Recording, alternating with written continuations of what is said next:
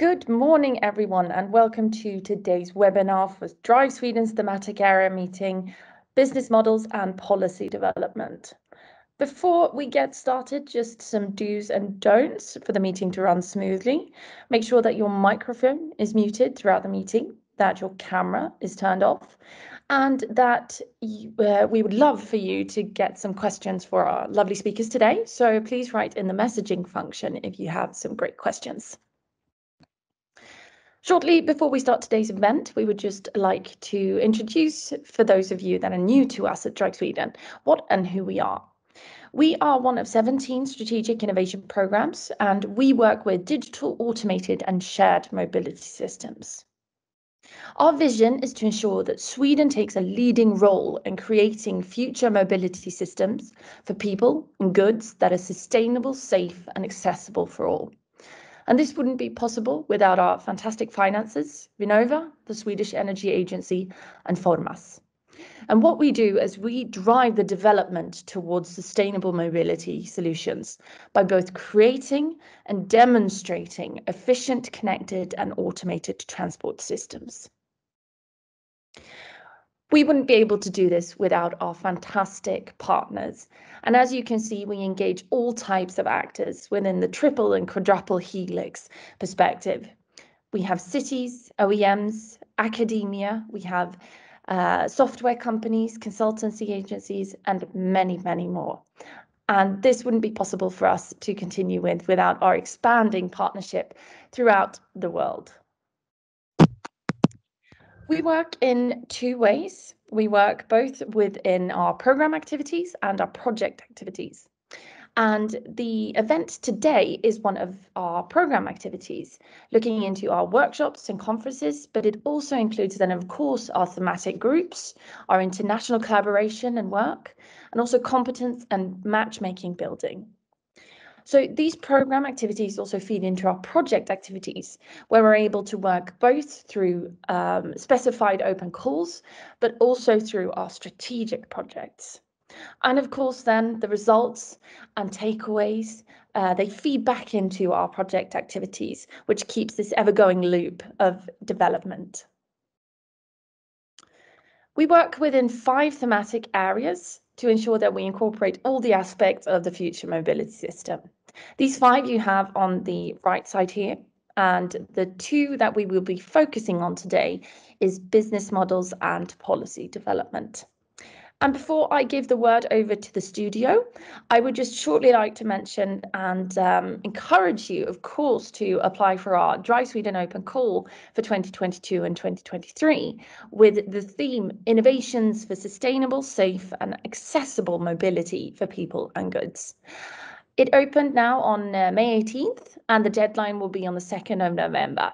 So if you would like some more information about this, please head over to our website or just contact us and we would happily speak a bit more about it. So thank you so much for me at the moment, and I will hand it over to the studio, Kent-Eric and Mikael. Yes. Hello, everyone. Good to see you, uh, almost but uh, we have a lot of people registered for the meeting. And uh, the purpose of those thematic meetings, they are networking and information sharing. But we have also a process where we want to identify issues that we can take collaborative actions on and then produce results together. And the energy, as uh, Josephine has presented is to put uh, projects and strategic projects and open calls. So we uh, want in this meeting to identify the main issue. Mikael, what is that?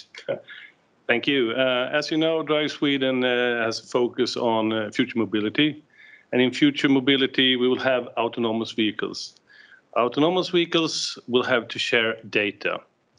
Uh, share data with other vehicle brands, but also with other devices, and basically share data with anything. So share data is a hot topic, and when you share data, that will provide an ocean to tap into when it comes to developing new services and developing new services based on new business models. That is why we have uh, this shared data focus for today.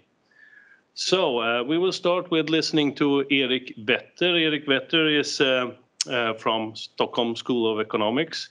He's heading one of the projects in, in Drive Sweden, focusing on the key elements of a business model successful rollout of robotaxis. He has also deep insights about the data standards in the EU Commission. So, Erik, please. Okay, thank you. So I will actually run my presentation here. So let me know when you see my slides.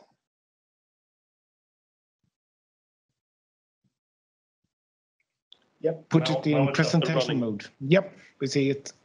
Okay, might be a, a slight lag. All right, so thank you. So I have a few minutes and I'll, I'll start by uh, elaborating on uh, what Mikael said, so I'm working with this project, which is a, a strategic one-year project uh, for Drive Sweden. Uh, so it's an applied research project in a way, being conducted here at the House of Innovation at Stockholm School of Economics, but then also uh, with support and input from the Swedish uh, Trafikverket, Traffic uh, Authority, Göteborg stad, Gothenburg city, uh, where there's a lot, which is one of the leading clusters on, on automotive and robotaxis in Sweden, and then CEVT, China Euro Vehicle Technology. Uh, so just to give uh, an overview, so when we talk about business models and rollouts of robotaxi, uh, the common approach, uh, if you're a planner or an engineer, is of course to, to use a data driven approach. So you look at the hard factors. So if you want to roll out in a city, you look at the population, the demographics, uh, the city planning, uh, how does the uh, commuting and vehicle statistics look, and then sometimes you also then do some assumption based on these sort of consumers and their adoption willingness. So if you roll out robotaxi, obviously, then uh, consumers would have to switch their current behaviors from driving cars or riding public transport into riding robotaxis.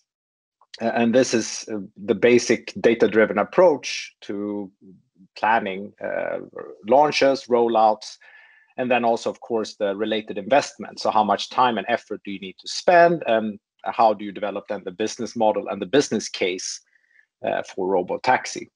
And this is intuitive and of course the baseline. Uh, and this is how you should do it. Uh, however, what we then know from other big rollouts, from mobility as a service, from the uh, ride sharing, from electric scooters, uh, and other big infrastructure uh, investments, is that what does also matter uh, are the soft factors. And by soft factors, I don't mean you can't necessarily put numbers on it, but it's more of a way to sort of opposite to the, the classical data-driven approach. So I'm a management researcher. So in management, we often say the soft stuff is the hard stuff. So specifically when we talk about robotaxi launch out, some some soft factors that could complicate these rollouts or at least the planning of these rollouts is, and I'll go through this in detail, it's uh, preference falsification, it's cyber risks, it's political risk, and uh, finally, we'll talk more about uh, technology and, and, data standards. So if we just go through some of these uh, soft factors that one then has to sort of take into account when you plan a robotaxi case rollout, either if you're the operator or if you're the city or region that's gonna um, support these rollouts. So the first challenge is what's called preference falsification. And this is a psychological principle that's gotten a lot of attention research, uh, recently. And, and the challenge here is that people, when asked, when, when you do polling or interviews, tend not to state the real preferences and what they actually think. And this is especially strong if we talk about politically correct topics, such as in the US, whether people would vote for Trump or not. All the polls underestimated how many people would vote for Trump. Uh, another closer example is buying ecological uh, food stuff. When when consumer surveys are done, everybody says that they will of course buy uh, near produced and ecological food stuff. But then if you look at the sales numbers, people don't. So preference falsification means that people tend to answer on surveys what they think is the right answer or what makes them look good. Uh, and this uh, then can lead to overestimation of willingness to adopt new good behaviors. So very simply put, if people are asked whether they would switch to riding in robotaxis because of all the good stuff that comes with that, uh, saving environment, traffic efficiency, all of that, According to preference for falsification, people are likely to say yes, even though in reality they will not, or they will do it much, much later. Practically, what this means if you plan a rollout is that the uptake and the switching behaviors might take much, much longer time than you initially estimate. Uh, and if one doesn't take this into a new product launch account, then maybe one runs out of uh, resources or time before the critical mass has, has been adopted. Uh, another thing is cyber risks. Uh, so when we talk about robotaxi, uh, automotive vehicles, electric vehicles, uh, mobility as a service, uh, they're all going to be part of critical infrastructure. And, and this is just some recent and, and older media snapshots that cyber risks are becoming not only sort of a marginal thing or an added thing or a footnote, but it's really becoming a key issue in everything that has to do with digitalization. So one can't roll out new digital products and services and then sort of leave the cyber risks to the IT department or fix that later. It has to be uh, security by design. Uh, and when we talk about robotaxi, there is a lot of uh, areas of vulnerability. I mean, it's everything from the electric infrastructure, if we assume robotaxis are largely going to be electric vehicles. Uh, so hackers have just taken down the uh, infrastructure electric grids in the US, have been uh, open to big attacks. If you can't charge the cars, they're just going to grind to a halt. Uh, there's been a lot of examples of the actual vehicles being hacked. Uh, and then we've also had data breaches on the operators uh, because then operators are going to sit on very sensitive personal information about uh, people's preferences, mobility, where they go. So, so cyber risks, uh, it, it's not just uh, a risk, it's, it's an integrated feature in any type of robotaxi business model. With that goes the investment, the, the insurance, and just how to build that in. Because again, one of these, and uh, if we look at these media snapshots, a rollout, a billion dollar rollout that runs into one of these uh, ransomware attacks or cyber could basically probably kill that launch, if not the whole company uh, as such. So it is a major risk. Uh, another uh, pretty tricky one is, is political risk. So uh, if we if you see the photo there, uh, the burning cars, uh, that's a, a, snapshot from Paris when they that's similar to how it looked when they rolled out electric scooter and normal ride sharing services in Paris. Taxi drivers have fought with the police. They have blocked car, uh, blocked roads, uh, destroyed property. Uh, so we can imagine what's going to happen in Paris when a real robotaxi service uh, rolls out. Uh, so, I mean, certain countries have a political tradition of reacting uh, to news products and services, especially if, if jobs are threatened. also, media has a tendency to maybe uh, overemphasize uh, accidents related to robo taxis can lead to political overreactions.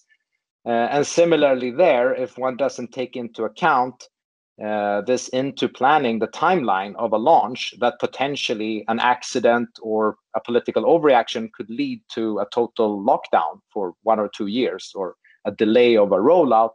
Again, that could kill what could potentially be a, a successful launch. Uh, again, one example that's close is just to see what's happened with the electric scooters, the micromobility.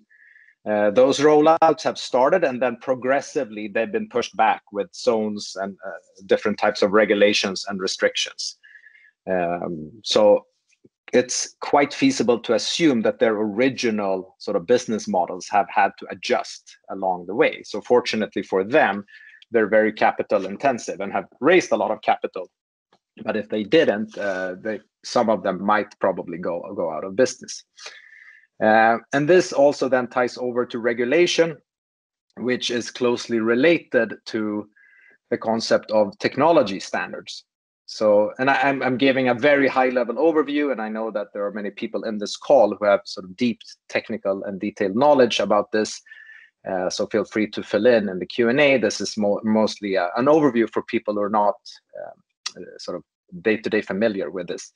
So an easy illustration of technology standards is electric plugs. As you know, sometimes if you travel, you have to buy uh, adapters or you can't use your plug. And that's because there are national or regional technology standards for electric plugs. And in the electric plug case, those standards have persisted. So most countries have their own, or, or most regions keep their own for various for various reasons. In other cases, what's quite common is a technology battle or a standards battle. And a famous example historically is the videotape, the beta versus VHS. So when the videotapes came along, there were two standards so you could buy players and tapes that either looked like the beta standard or the VHS standard. And that turned out to be quite inefficient. So there was a huge technology battle that then the VHS standard won and became the global standard. So after that standard battle, all the manufacturers of the beta products had to switch to, to VHS. So obviously a huge win for the sponsors and the originators of the VHS standard and, and a loss for the sponsors of the beta standard. And to see how this has looked in mobility, actually the whole mobility sector is, is heavily influenced by standards. And also just to show the fact that standards uh, are very persistent is the fact that modern railways uh, still use the standard gauge that was uh, a, a technology standard that was set in 1827 uh, so before uh, in the in the 1800s, there were different countries had different standards, but then there was a standard battle. So the standard gauge rail became the global standard, and, and most uh, railways had to adopt to that. Uh, the fact that rails are made of steel and the quality is a technology standard. The way that the flanged wheel is designed is a technology standard. So still modern day trains and the railway industry is still operating within standards that are over 150 years old. So, so standards can have a huge impact and become sort of the rules for how an industry can operate. Um, another example, if you're familiar with uh, London taxis, uh, they have a weird shape with a, a sort of a high, high ceiling, which is very comfortable. But there is a reason why they all look like that, and that's a standard that was set also uh, quite some time back. And, and the standard was that in order to operate a London taxi, a gentleman had to be able to ride in the back with a bowler hat on. So uh, that's the reason why modern day London taxis still look that because they still have to conform to the bowler hat standard. So again, maybe some funny examples, uh, but the point is that standards have a huge impact on the direction and evolution of industry and then become the, the rules uh, that companies uh, have to conform to. And then finally, then diving into what Mikael was saying. So we now see in robotaxis, we see that technology standards are evolving and these technology battles are happening specifically relating to data transfer. So one of the highest profile uh, data battle, the standard battle that's currently happening is the V2X vehicle to everything standard. And that is, as was mentioned before, that uh, these smart vehicles, robotaxis, are going to have to communicate with the networks, with other cars, with cities, and also with the sort of booking apps and the uh, the people, the passengers. Uh, and there are two main standards for this data transfer. And one we can call the Wi-Fi standard and one we can call the 5G standard, just to keep them apart. Uh, so the Wi-Fi standard was originally sponsored by the US uh, government, the Federal Trade Commission. They have some sponsors. Uh, some of the high profile ones are Volkswagen, General Motors, and Toyota. But then we also have the 5G or the mobile standard, where a bit simplified, uh, the sponsors are the European Commission, Airbus, Apple, Geely, Ford, Samsung, and loads of other companies then. Uh, and now it seems like uh, there is a beta versus VHS battle over this data standard happening. So there is a lot of lobbying and regulation going on. And some of the major manufacturers like General Motors and Toyota are now preparing to potentially launch products that can conform to both these standards in case there are going to be regional differences. So one could imagine a scenario where the 5G standard uh, is the data transfer standard in Europe, whereas the Wi-Fi standard could be dominant in the US. Or what also could happen, as we know historically, is that there's going to be a major data standard battles happening, and one of these standards is, is going to be uh, the global standard. And of course, if one is investing in technology, technology development, or product development in this area, this is something you want to keep an eye out for because it could, if you invest hundreds of millions or billions, you want to know that the products or technology you invest in uh, is not going to be canceled. Uh, obviously, this is highly technical, so I think like the the companies and people who are involved in the V2X standard are, are way more knowledgeable um, than me uh, about this. Uh, but another standard that's also going to have maybe a broader impact, and that's the, standards for data sharing with outside actors. So there is now two uh, so high-profile initiatives in this space. So one is the Open Mobility Foundation in the U.S. So this is uh, a lot of big cities: Los Angeles, New York, San Francisco, uh, that have banded together and set a standard, the mobility data standard, and said that if you're a mobility provider, micromobility or robotaxi or ride sharing, you're going to have to share data with the city you operate in according to this mobile data standard. Um, and, and, that's so that the city can then uh, get the information that they need for compliance, for, for traffic management, and for other things. So this is a US standard, but we uh, in the we can see that this is spreading. So for instance, Lisbon in Portugal and Amsterdam are both adopting some kind of data sharing standard that that builds on this open uh, mobility and the MDS standard. And in parallel, uh, European Commission launched their new strategy for data and AI recently, and in that new digital strategy is uh, the concept of uh, data spaces. So the European Commission have identified a couple of areas where they say that in these areas, we want to see shared data to support innovation, entrepreneurship, to support uh, public good, uh, science, everything.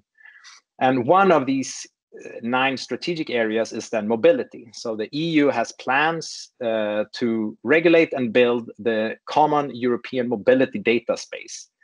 Uh, so there are components of this already in the transportation sector, but their vision uh, is to have one huge European uh, data lake, basically, where all mobility providers, companies, and actors have to share their data in some aggregated or standard form. So uh, both of these are evolving and, and uh, happening sort of in parallel. And there is also, I, I think we might hear, but, there is also discussions and dialogue between these initiatives. But I think that both the mobility data standard and the EU's common uh, mobility data space is going to be boundary setting for any company, uh, whether one is an operator or a manufacturer in the mobility data space uh, in the years to come uh, I think I'll end there for now. Thank you. Thank you, uh, Erik. Um, and uh, we have some questions uh, from the audience. Uh, and I start with the first one. Uh, based on, on your experience, Erik, who will be the major driver for mobility data standards? Will it be the authorities or will it be the market? That's a very good question. Uh, I should say, I mean, based on my experience, uh, I only have, uh, we're halfway through the project. So the project is intended to uh, figure this out. But one can say it's, um, it is a little bit a difference between cultures. So if we simplify it and we say in, in Europe, Europe has a tradition of government regulating, and that's what we see. The uh, European Commission is uh, sort of intending to regulate this top down and then give member states uh, sort of guidelines, uh, which then become national regulation. So I think the European Commission, their idea is that they're going to regulate it. If we look at the US, traditionally it's been the market. Industry has sort of just done things and then that's become the standard. And I think what's interesting about the uh, MDS, the mobility data standard, is that that's a little bit uh, one. Some people are saying that's a reaction in the US against the market dominance. So there's been um, some major players have just rolled out, and then as a reaction, uh, the cities have banded together and created like a, a union and said that if you want to operate here, you will have to conform to this standard that we're setting up. So it, it's kind of a, it's not a federal government initiative, but it's a city uh, led initiative. Uh, and I think what's interesting is we uh, in the US, there's also then been lawsuits against this from some of the big companies that don't want to conform to this. Uh, but those lawsuits uh, have been uh, recently lost and thrown out. So, so it seems like it is uh, yeah, I don't know how to categorize that. So it's not really market driven, but but it's not a government initiative. It's somewhere somewhere in the middle. Um, in the end, um, I guess it's going to be um, yeah. Uh, yeah, it's going to be interesting to see because what's happening now in these standard forums is that obviously then both governments and market players are trying to uh, shape the process and that's what we see in the V2X standard. So I don't have a good answer yet. I, I hope to know more and at the end of the year, maybe. But we, if we spin on uh, the development in US, and you mentioned the Open Mobility Foundation, where cities kind of gather together to establish, let's call it local standards. Uh, do you see that Europe is moving in the same direction, and and does that require that automakers will be forced to adopt to potentially many different and potentially even conflicting standards? Uh, I think it's at. Uh, I mean, it's both the cities, but I. I mean, uh, I saw we had RISE here, and RISE is actually a a, a member of uh, the Open Mobility Foundation. So maybe we'll get even more information there. So it's not just cities, but indirectly, I mean, uh, uh, Sweden is also a player in that standard but but to your question, I think that's the I mean that that's the evolution of standard battles is that over time, if you have a timeline, what you usually see is you have national or regional standards popping up, but then over time, since that's so inefficient and, and costly, there is usually a pressure to align those standards or to come up with global or regional standards. So, uh, I mean, r- right now there is the MDS and we have the European initiative, it could happen that those align and become very similar or or the same one over time, just because it is more efficient. Uh, where you see the national or competing standards is usually when you have uh, sort of some protectionistic again agenda behind it. So some kind of um, uh, yeah, kind of governments trying to protect their industry against competition. Whether we're gonna see that here, I'm I don't know actually. I mean, that's um, uh, again. I hope to. This is why it's interesting research. If if I knew the answer, I would um, not have to do research. I would just invest money. But uh, since we don't know the answer, it's it's a very interesting research topic. Good. Okay. Uh, we don't have any other questions. Do you have? I think we could uh, switch over to Daniel Rudmark from RISE, because uh, I know that Daniel is also involved in the OMF, but he will um, first talk about uh, a project called Odin. And Daniel Rudmark from RISE he has been involved in data sharing, mainly for public transport, but uh, sharing open data with the public since many years. So a very experienced speaker. Please, Daniel. Yes, thank you very much, Kent Erik, for that uh, nice introduction. Okay, so yes, thank you. Uh, yes, so uh, yes, good morning, everyone. Uh, I'm here to talk about a network of actors uh, that we call ODIN. Uh, that is an abbreviation for Open Mobility Data in the Nordics. Uh, and sort of the, I would say that one core objective of what we do is that uh, we see how we can scale data sharing and data sharing solutions across the Nordic countries. And today I will talk a little bit about more of what we do in Odin and then spend some extra time on the standardization efforts that we have been undertaking for, for quite some time now uh, within Odin. So uh, maybe following up on Erik's previous presentation in that regard.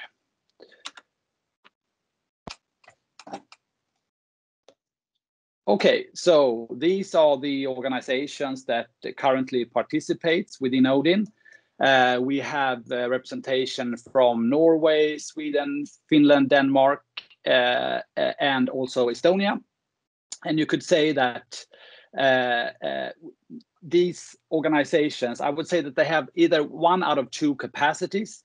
Either they collect and publish data on some sort of national function, or they are a public authority overseeing uh, that data is published in the way that it uh, should be according to different uh, regulations. And when we talk about, uh, I mean, why are we uh, why are we collaborating here? I would say that we usually talk about that we have a threefold purpose. Uh, and the first one is that we would like to make it easier for those who have new innovative uh, mobility services and maybe they can launch this service in one country it should be easy also to move it out to other countries as well and that is i think what sort of got us started to work in this collaboration then we also, the second one has to do with how we can leverage different types of policies or EU regulations. And uh, honestly, I think this has been sort of the prime driver for the more concrete actions that we have done so far. And there are already uh, upcoming and in effect EU regulations stating that if you have certain data categories like timetables or, or public transport networks in a digital form, they must be published. Uh, and we know that you know being compliant will require a lot of work uh, and we want to use that work not just to be compliant but also to do something that can be actually beneficial uh, for both these organizations but also for, for other parties as well and if we succeed with these first two uh, we hope that uh, yeah maybe we can play a part in establishing the nordics as a living lab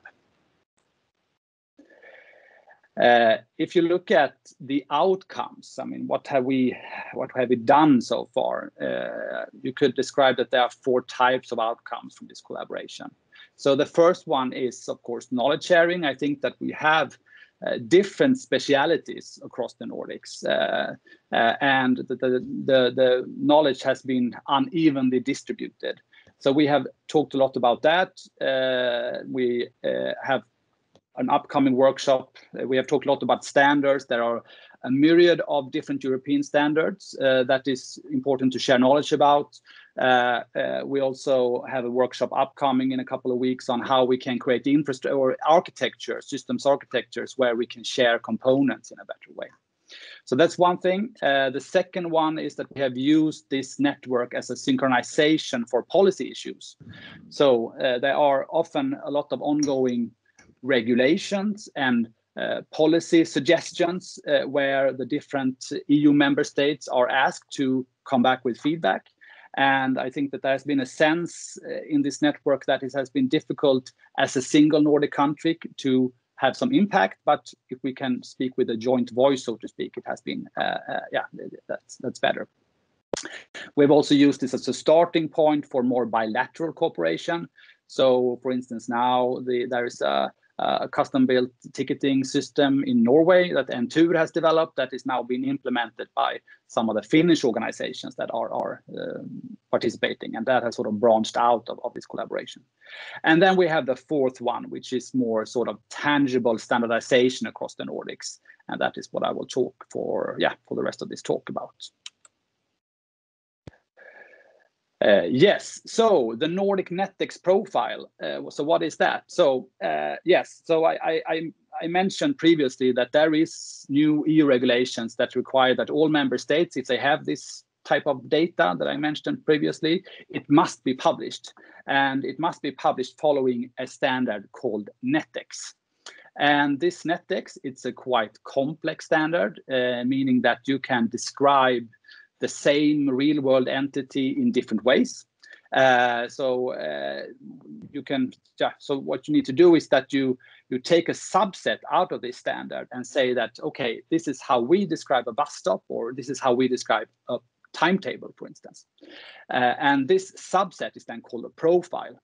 Uh, and this was something that when we started to collaborate we knew that this was coming. And i think there were quite early on a consensus that if we were to implement Netex in sort of the same manner, uh, using the same what they call the national profile, it will be beneficial for, for the Nordic market. And since 2019, we have a common Nordic profile when it comes to Netex. Uh, part one and two for those of you who are uh, sort of uh, yeah very knowledgeable about this. And this has then been based on the uh, norwegian Netex profile and it's uh, available on that url there uh, at the bottom. So it's all open. And here i will talk about why i think we were able to establish the nordic Netex profile and three keys to that uh, and the first one is, I think that uh, an important thing, and I've been doing also uh, sort of as a research following up, I've been interviewing these actors, and one of the things that they are pointing to is that the, the it builds on existing verified knowledge because the Nordic Netex profile, uh, it used to be the Norwegian Netex profile, and it has been in use there since 2017. Uh, this means that the actors here they can be quite comfortable with that the use cases that is common within an industry is supported by this standard. Uh, and and of course like Erik was saying earlier there is always always competitive standards. And i think that the one that has been perhaps mostly used across the world is GTFS and it's very powerful. But that is more targeted towards end users. And this then by using this norwegian uh, uh, uh, profile, you know that this will have support for the entire value chain and not just for the end users. and by that, they could be quite comfortable with that this will work for the most common use cases and they don't have to reinvent wheels and so forth. I think the second one, and I think this is perhaps in effect the most important reason for why we were able to do this, is that Entur has been very uh, progressive in in having a, a digital infrastructure that builds on on open source solutions and by uh, uh, yeah and by uh, taking the Norwegian Netex profile, you can have compatibility with frameworks. That means that you can actually you can do things with the data immediately. Uh, and one of those things uh, that has been sort of a driver is travel planning, and that is how do you get from point A to point B, and that's a quite complex task to to write an algorithm for. Uh, and then here the um, the Nordic Netex profile it is compliant with an open source software uh, framework that is called Open Trip Planner, uh, and this is used by many Uh, uh, organizations uh, both in Europe. So, for instance, uh, Entur, the Norwegian national travel planner, uses this. In Helsinki, public transport are using this, but also in the US. So, like in, in, in Oregon and some of the other large cities are using this framework. So it's a very it's a very powerful framework in that source. And so they knew that if they would use this uh, Nordic Netex profile, they know that immediately it can be used. And I think that's the core thing here, that, that you can put data into use. Uh, yes, and then I think the third uh, important uh, aspect here is that we were able to establish a balanced governance uh, regime. Uh, and that is because if you have a standard, uh, I mean, of course, it has to be stable. I mean, that's the whole thing of having a standard that you can trust it and, and so forth. On the other hand, the world is changing, so the standard must adapt to that too. And the way we have set this up is that we have uh, the Nordic Netex profile. It's governed uh, jointly by you have two representatives from each country. Estonia is not there right now, but it's uh, two people from Finland, Norway, Denmark, and uh, Sweden. Uh, and then we have a set of governance rules saying that, for instance, if you just want to add a field that is not mandatory, it's sufficient that one country asks for it. But if you have a breaking change that breaks backward compatibility, everyone has to agree. So that we can uh, so that we can have this balance in how we govern this standard, I think has been important as well. Uh, and this means then that those who are uh, participating here, they, they do have the possibility to see where this standard is going, uh, but also that they can use their veto if there is something that they really don't, yeah, against breaking changes, for instance. And if you uh, look at where we where we hope that we are going or, or the direction that we're going, I think when we started, uh, we were, I mean, I think all the organizations were uh, working with uh, data sharing in some sorts. Uh, for the last uh, couple of years, we have worked with the standards and how we can, uh yeah, standardize this data. And then the next step is then also to actually use this data. Uh, and I think that this is, uh, yeah, I, here I think that the different organizations have come different far here. I think that some of the organizations are already up on the on the uh, on the top uh, step here in this ladder, uh, where they have much value creation opportunities, and others are still making that transition. Uh, and here I think that it's uh, I think that this is very very important because I think uh, having worked with you know open data and data sharing from from uh, public authorities. There's always a risk that you publish data and it does not get into use. But I think that when you publish data, you do it in a standardized manner, and you also use that data uh, yourself. I think that is when you can uh, really, you, yeah, other actors can trust this data. And when you use open source solutions, like some of the actors in Odin does, it means that others can also use it. Uh, so I think that uh, that uh, yeah, I think that, that that's a very key key thing here. And I think that this was actually my last slide here. Uh, yeah, and if you want to read more about Odin, you have the, the, the URL there. Thank you very much, Daniel. Very good. Uh, we have a few questions. I put one question myself here and that is uh, you have a European mandatory standard, and still yeah. you have dialects. Why not have yes. uh, one European dialect? Uh, well, everything you know when you when you lift the stones, everything is more complex. But uh, so what I didn't say here is that there is something called uh, the passenger profile, which all member states are supposed to implement, and that is supposed to look the same across the EU but that doesn't fulfill the the industry requirements. You need you need you need more details on that, uh, and those details are too difficult, I think, to agree upon. So uh, so that is why you also are allowed to have a national profile. Um, so uh, yeah, so um, I guess that is the answer to that. So, so the wider context to uh, a lot of actors that is more uh, harmonized but when you go into yeah. internal operation of public transport, then it's more yeah, uh, exactly. Specific. And I, yeah, and I think that, I mean, if you look at Open Trip Planner, uh, that has been compliant with other standards like GTFS, which is Google's standard, and, uh, and that has been used worldwide. But it doesn't provide the level of detail that many of these organizations want. So by instead producing travel options using Netex, you can you can provide a much better service for passengers than you can with more sort of general or more or more uh, yeah more abstract standards. I would say. Mm -hmm. Yeah. Daniel, following the same question as uh, to Erik Wetter, with with those special dialects, Mm. Is there a risk that, that global actors will be forced to, to adopt to several different and potentially conflicting versions of Netex? Uh, yeah, well, I think that I guess that depends on the, the the level of detail that their service are relying on. So I think that if you can live with uh, the more the abstractions that the passenger profile is offering, then you have sort of the, the entire European market in, in one uh, in one um, uh, yeah in one standard. And if you can live with even less details that you can uh, that you can express in the GTFS standard, for instance, well then you can only do one for the whole world. So I I would say that it depends on the level of detail that your service is dependent on. Uh, that would be sort of the the, the demarcation here.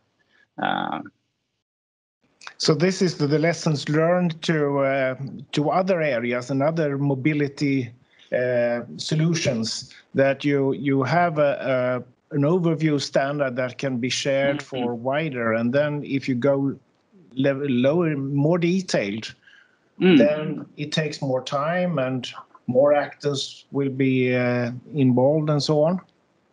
So this Yeah, is the way I mean- your experience.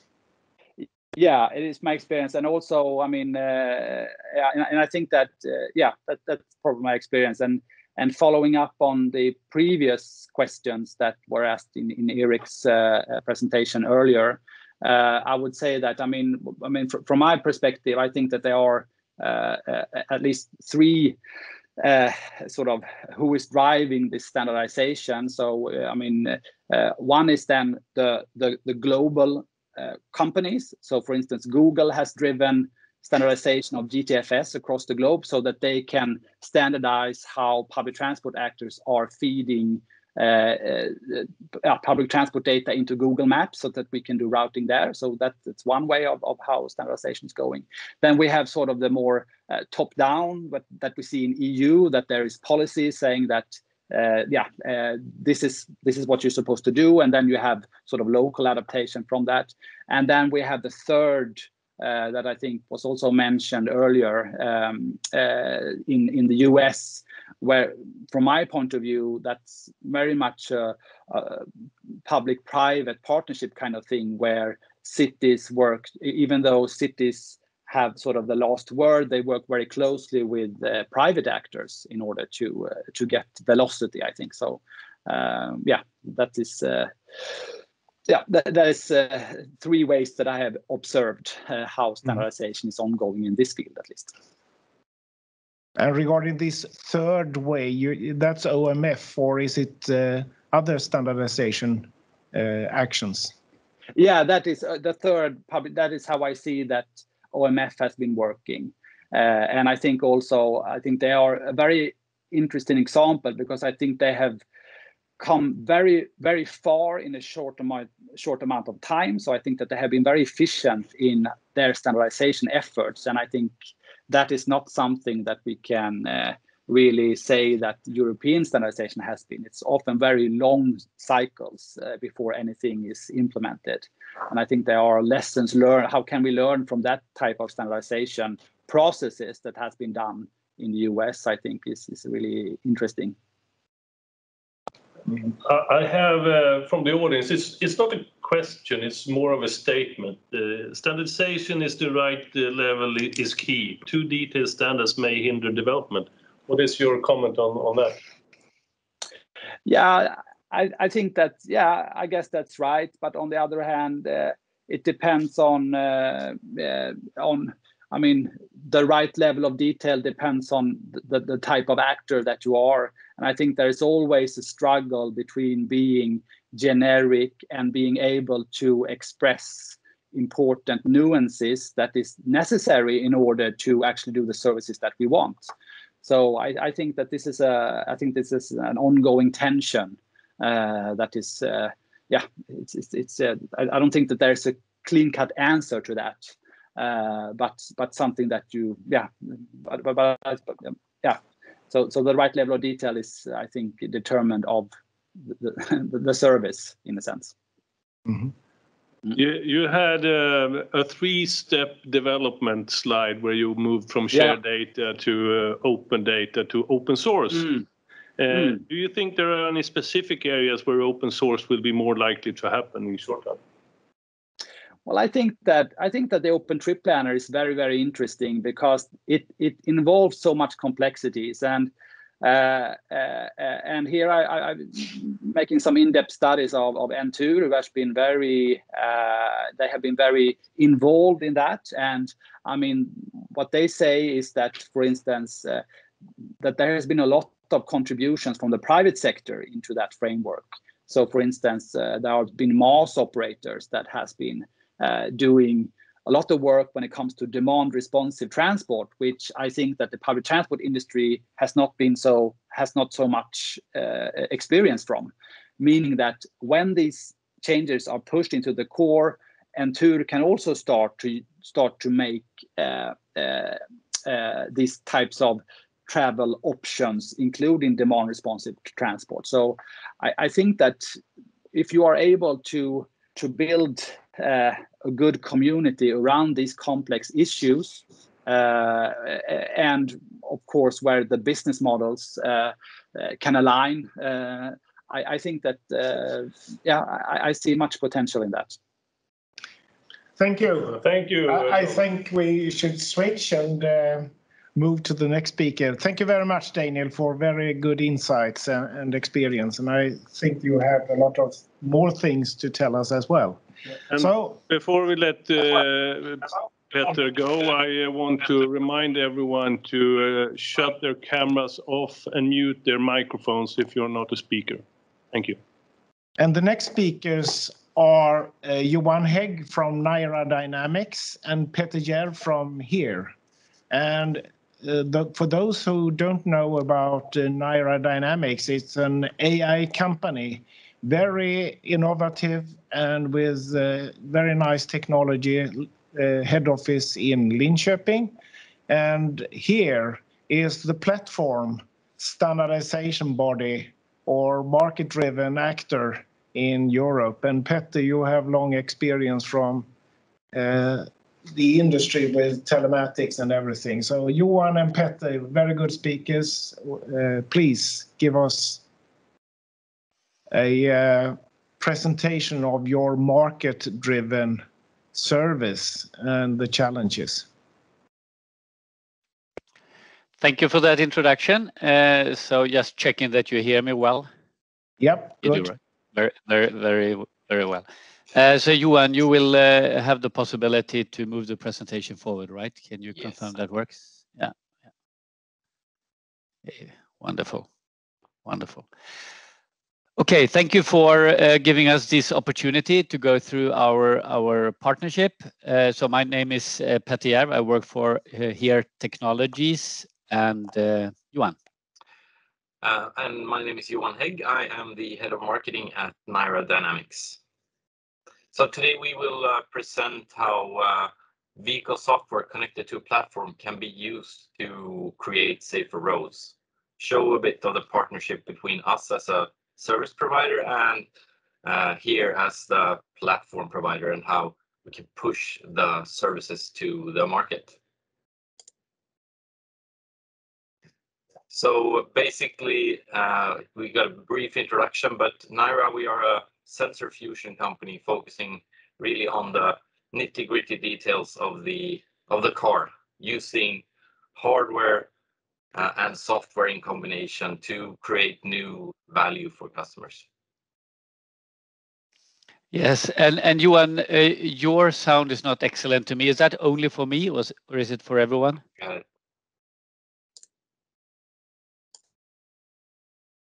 What do you say in the studio? Do, do you hear Johan well?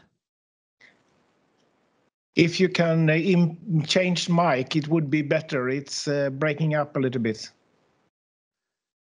Okay. Uh, so if you have an alternative uh, microphone, please please try that. Uh, and in the meantime, uh, so yeah, so HERE Technologies, so we are a location, and we say the leading location platform in the world. we're a company that comes from the map industry, so we have a global map that is implemented for different use cases in actually most uh, uh, the majority of all vehicles in, in, the world today that use some kind of map technology. I seem to have a problem with my internal mic. So I'm. Is this okay, or is it really? Yeah, it, no, it's it it it works. It's it's just scratchy. Yeah. Okay. so the the main principle that we're doing we we start in the car where we uh, install a software component. Uh, the software component uses the already existing sensors of the vehicle uh, to produce new type of value. Mainly we focus on the wheel speed sensor because that's very important the tire and the wheel and the things related to that. Using that software we can monitor the road surface for road roughness, for road friction, potholes and speed bumps, but also road wetness and temperature. So using only software. Then that data is transferred to the cloud backend, the the advantage of the software that we provide is that it can um, use regular passenger vehicles for for uh, collecting that data. So this means you don't have to install any um, expensive hardware or monitoring software. It's just really simple uh, software solutions using the already existing sensors. Um, then when it comes to the to the backend, we we aggregate all the data from the vehicles, anonymize it, of course. Uh, we map match it using the HERE uh, backend, uh, and then it's published automatically within minutes towards our customers and partners. This means that road surface information, which we call the service, can be it's updated within minutes and all, all the time it has a real-time map.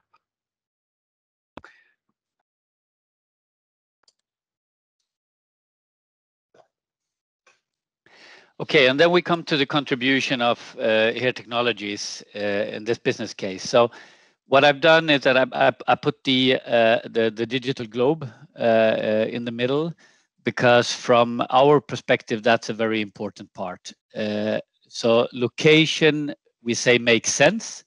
So when you have been doing development for many, many years now using timestamps as a very central part of the development, we believe that a latitude and a longitude uh, also makes a lot of sense. And uh, we, we can take a lot of examples of this. Uh, uh one example is that you use, uh, let's say, the, the attributes of a map that explains that you are passing by a school and then you might actually have uh, you you classify and you and you analyze the data coming from a vehicle passing a school with different eyes than you do from from the general crowd data. That's just one example. Another example is that when you want to do um, uh, vehicle maintenance, you might want to cross-reference the data from the vehicle uh, with totally different data types that doesn't come from the vehicle could be uh, humidity or, or some kind of weather data and then you need to have not only a timestamp but also a location stamp in order to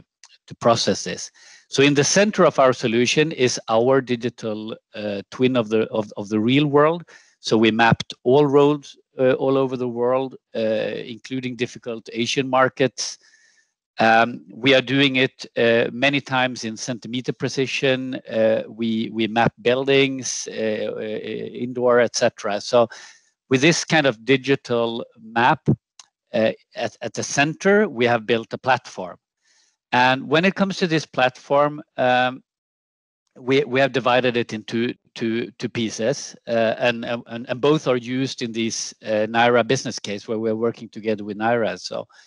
Uh, one piece is a workspace, and the workspace is the is, is a place where uh, the smart guys works with the data. They they upload the data, they analyze the data, they process the data, they store the data, they stream the data. Everything is done on the workspace, and they get, of course, access to the digital twin of the world while they are doing all those uh, uh, processing.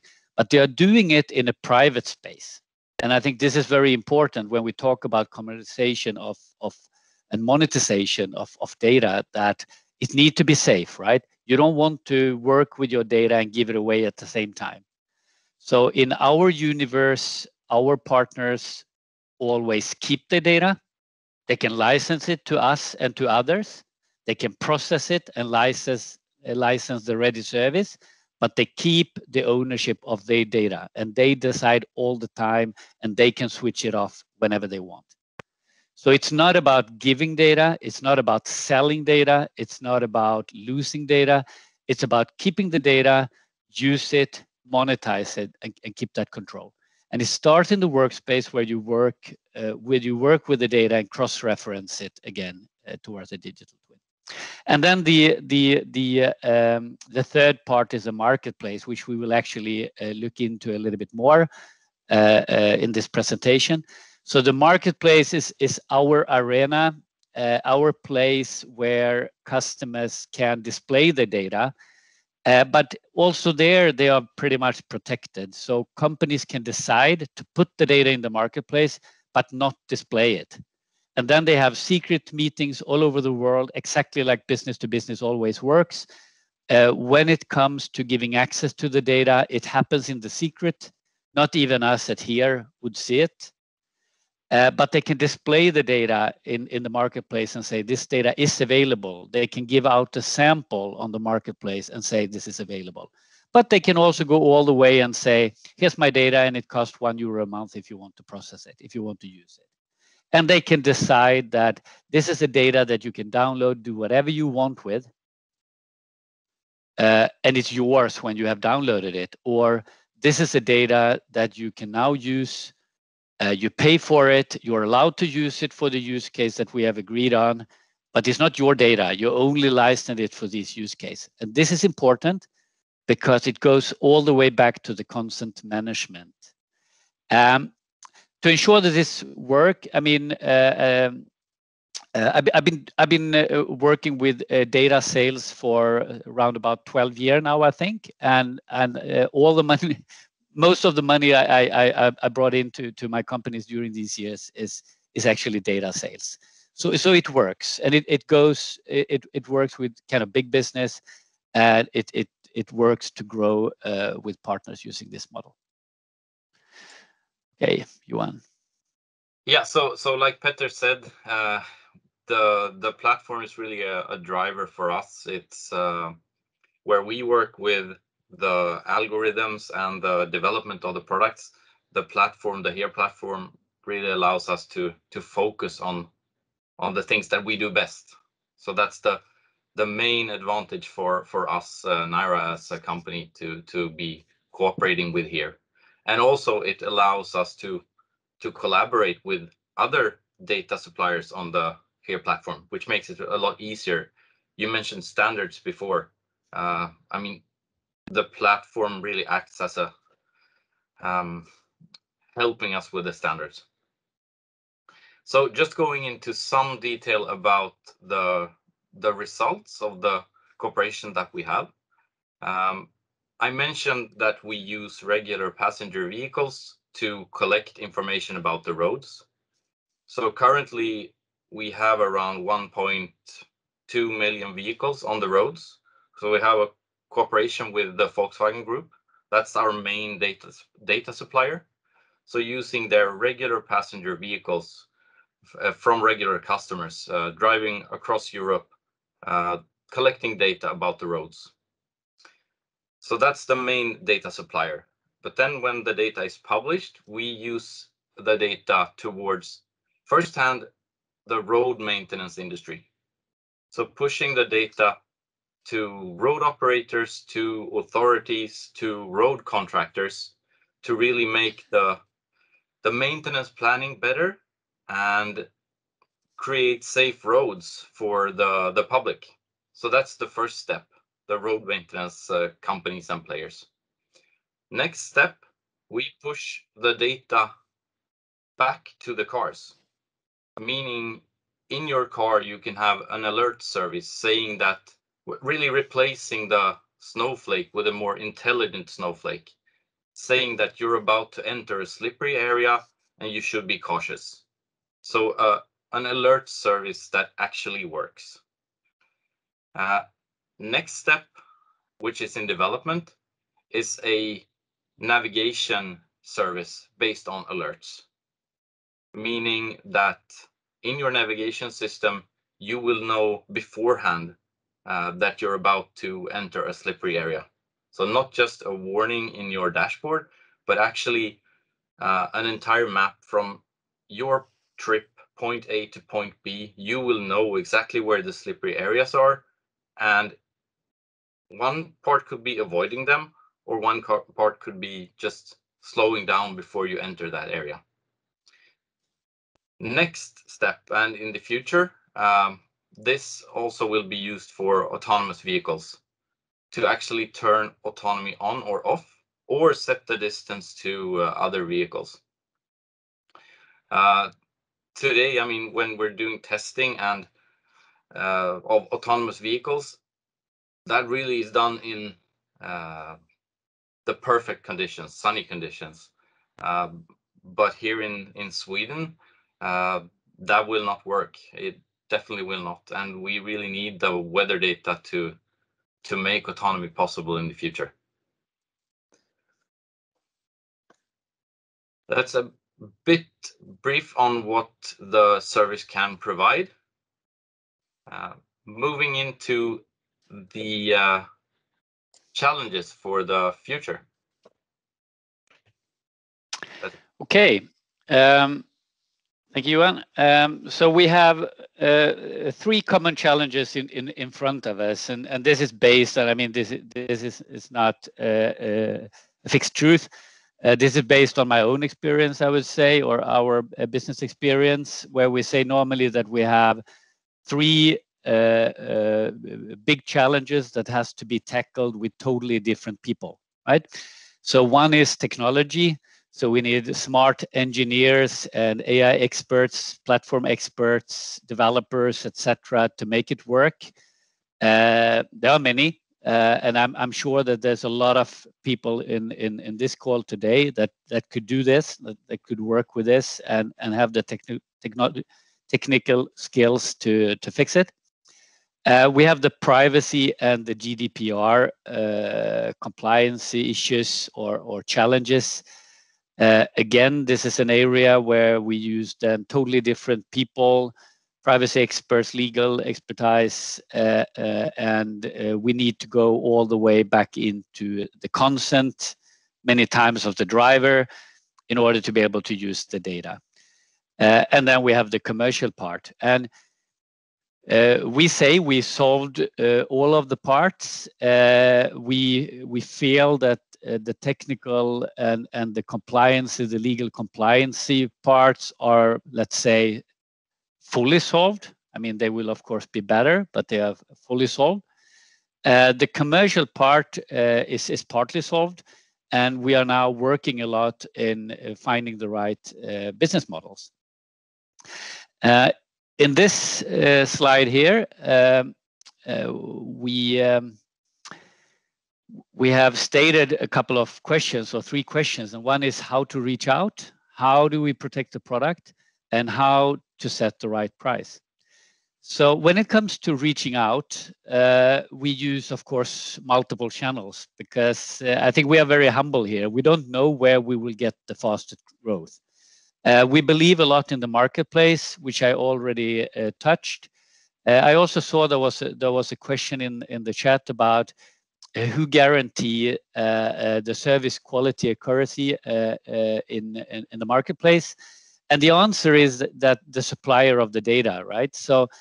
If, if anyone in this meeting would like to download and, and work and try the friction data of NIRA, um, they would have to agree business to business in between what the data should do uh, uh, and what the data uh, would guarantee uh, to ensure a certain price, a certain business model. Uh, at here, uh, we provide the tools to make it happen, the standard agreements, the measurements, the payment solutions. I mean, we have all these kind of things in place. We ensure the, the safety and security of the distribution of the data or the ready services. So when it comes to the marketplace, you can actually put out uh, uh, data dumps. Uh, uh you, you you can create APIs and, and, and make it available, or or you know raw data can can be ma made available over the marketplace. Um, API via established players has uh, shown to be a very smart way to get out very, very quick because you have a lot of companies that knows how to read and understand, uh, let's say, a weather feed or a, or, or a traffic feed. And uh, typically these companies, uh, for them, it's very easy to just take in the same format, uh, the NIRA friction feed and use it as an ad additional source of information for, for their services. Um, bundle into established products is also a very interesting way forward. So you can take the friction service and, and you can build it into to anything, right? Um, a, a, weather app, a, a, a, traffic app. You can you can uh, uh, bundle it into maybe a place where you also have uh, uh accidents, uh, accident information or whatever. Now, when we talk about automotive, but I'm sure that the friction service of NIRA can also be used to to help people to not fall and and and uh, break a leg and get to the hospital right? So that could also be a service, and then you might want to bundle it with some uh, medtech applications instead, or or health uh, apps. Uh, and then you have the customized services. You will always have customized services. You will always have customers that want to have it in a certain way. How do we protect the product? Uh, we protect the product via, uh, mainly via business to business agreements. So we are really in the B2B. Then that can be B2B uh, to C, of course. Uh, it, it can go pretty many times before it's reached the consumer. Uh, but but we have seen that this is our focus, and that makes it also easier when it comes to legal compliancy. So mainly what we do, uh, we focus on on uh, that. And another way to protect, of course, than than than legal promises, is of course to have a very robust platform that cannot easily be hacked, uh, uh and that really that really works. Um, and then Johan. Yeah, yeah. regarding the the last part is that we're actually protected via the real time updates by nature actually. Uh, and we get i guess we're a bit lucky in that. Uh, when we talk about the type of data that we work with uh, live friction that is only valid for a very short time. We collect it we aggregate it then we push it back to the map layers uh, and to our customers and users. In a few minutes things can change really rapidly. Temperatures can rise sun can start shining on the roads, road operators can put salt on certain roads, or the just the number of vehicles driving on the roads can increase, which means the road surface changes. So, like Petter said, the the security is more important uh, than the um, really the the protection for for the data because in commercial use it's only valid for a few minutes. So even if someone would get access to our data um, to use it, it's only valid for a few minutes. So we're really protected there. Um, finally, how do we set the right price? Um, maybe the biggest challenge. Some, some services are already live, like we mentioned, but some are also about to be launched. Um, the challenge with working with new services like this, which really have not been seen by the public before or by companies in, in our space before means that setting the right price is extremely important. And potentially like petter said it has to be revised over time to suit both end users and to the the b2b customers. And in order to set the right price um, the customers need to consider the cost savings that can be made replacing hardware with software, using simple connected data as opposed to streamed video data, or for road maintenance companies, changing the way they work, reducing manual inspection of roads, really going from manual inspection to automated inspection or help, like, which really can help them save a lot of money. So cost savings, I would say, is the main driver for services like this. Um, but the life-saving aspect is, of course, uh, of great importance. Uh, for car manufacturers, how do you value providing the best possible alert service uh, that can bring value to drivers in slippery conditions? Or for countries, how do you value having the best possible winter maintenance service that keeps the roads safe? Third, how can we make the drivers understand the value of this new type of product? Maybe we need to reach out to them in a in a way that we as a small company have not done before. Uh, it's map data on a level that that we haven't seen before, and we have to investigate what the willingness to pay for these kind of services is for drivers. Yes, and and when it comes to that, and we are running out of time now, but we are wrapping up uh, at the same time. So uh, we believe a lot in the digital aftermarket, and what we what we what we mean with the digital market is that the whole car industry is is pretty used to selling things to a vehicle after it was produced, right? So you can buy cool wheel sides and stickers and and cargo stuff and uh, whatever. You you you can repaint your car afterwards. So you have a big aftermarket, and we believe that the car industry need to uh, implement a digital aftermarket structure. And and it's a lot of struggling here in the automotive industry but it will come it must come. And in this digital aftermarket, we can do things like giving a service like the NIRA service uh, for the first winter for free, and then help the driver to understand that they should pay for a subscription for, for the coming winter. Uh, we can uh, bundle it into things that when you buy uh, uh the best winter tires from uh, whatever nice brand of, of tires, it comes with one, two, three years, whatever, of uh, digital information also about the friction to to to create a logical aftermarket product. So there's a lot of things here to to still to be done, and and I think I speak for both me and Johan that we are of course happy to to continue this conversation with any of you here in the call. Uh, you can you can uh, contact us uh, and I think, Johan, on the next slide, we also have our contact details. Yes. Johan, anything else from your side or? No, thanks a lot. Yeah. Thank you. Thank you very much, guys. Uh, very interesting talk and uh, presentation, and I'm filling up with uh, a lot of questions. But Mikael, you had one first.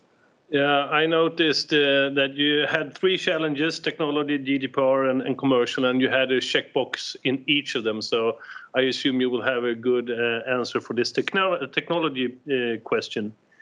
What about censoring in dusty roads? Is it possible? Question mark.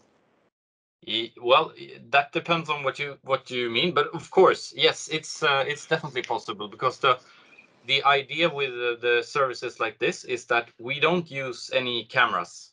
So we only use the um, like look at the look at the surf the touching point between the tire and the road surface. So we use the internal sensors of the vehicle, mainly the wheel speed sensor, to find out uh, information about the road surface, like using vibrations and a lot of other sensors. So we don't have any vision systems, so dusty roads is not a problem. Great. And uh, Petter, you, you were bold enough to answer a question directly during your presentation about uh, who is assuring the data consistency, accuracy, etc. And you mentioned that is the supplier. Yeah. Uh, but if the supplier is assuring data quality, who is liable for false data? And yeah. um, how how and the basically the consequences of false data and how is the liability managed and handled in the marketplace um, that's that's a very good question i i have difficulties to to answer it without mentioning uh, confidence uh, what we work with very often is that we work with confidence of data so let's take an example that we are saying that a certain road sign is standing on a certain place and it shows 70 kilometer per hour. Then one of our customers passing by uh, with, with a connected vehicle, and this happens today, right now, all over while we speak, right? Uh, this car will detect a 70 sign on approximately the right position. Then we can say the minute after that the confidence of this road sign standing there with a 70 sign is extremely high. But in reality, someone can have been there during the night, could have moved it two decimeters to the right, and the sensor of the passing vehicle would not detect that, would just say, yes, it's there, right? And it's 70. What also could be, which is very common in Germany, is that the road sign was digital and it switched from 70 to 60 three minutes later, right? So we need to work with confidence of data and we need to build systems where actually uh, at the moment the liability stays with the OEM, I would say. Or if the OEM can push it to insurance company or to the driver, fine. But we will only answer in the following way. We know that we have millions of errors in our map always. Mm. So we will never guarantee a, a, a faultless product. And, and, I'm thinking in your example with, with, with design, and this is not my, my uh, field of expertise, but I, I want to relate it to you on your, your service with slippery roads. I mean, uh, design is, is fairly fixed in, in position.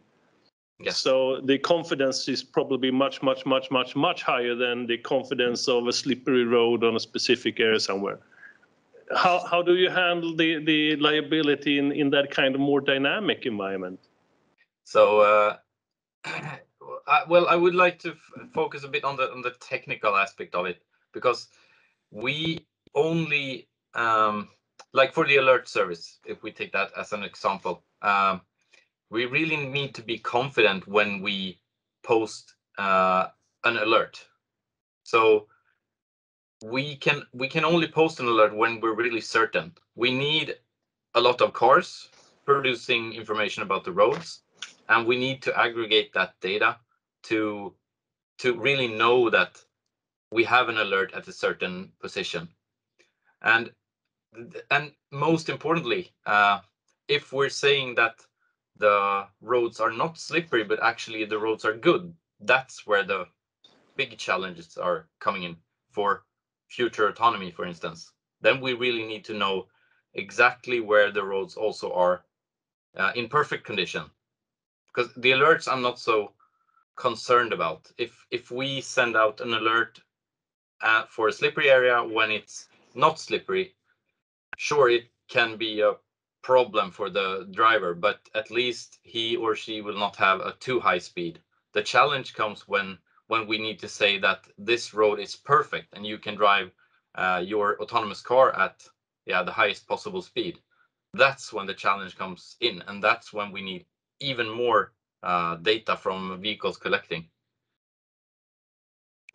Good I think uh, I'm proud to be Swede and talking about what you have done in NIRA. Uh, excellent technology, and I know that the quality of those services that you you have is uh, better than what you do with uh, fixed measuring stations and everything. So I, I, know that you have a very cost-effective and uh, good system now it's more how you can roll it out and reach enough vehicles and package it into a commercial service. And uh, yes. I think that this this is uh, a good example that can be uh, followed by other examples in, in Drive Sweden context and everything.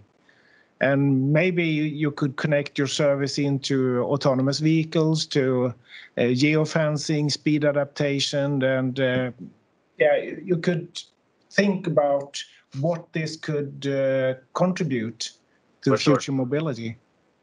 For tips sure. from the coach, right?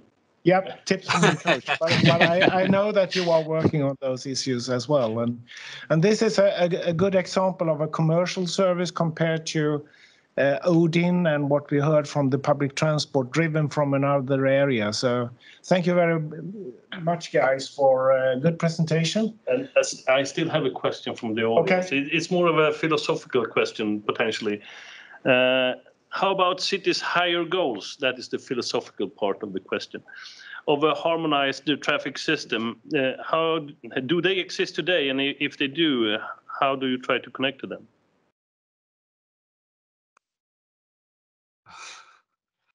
I oh, well, that, that's a it's a difficult question. I I would say no, it does not exist today.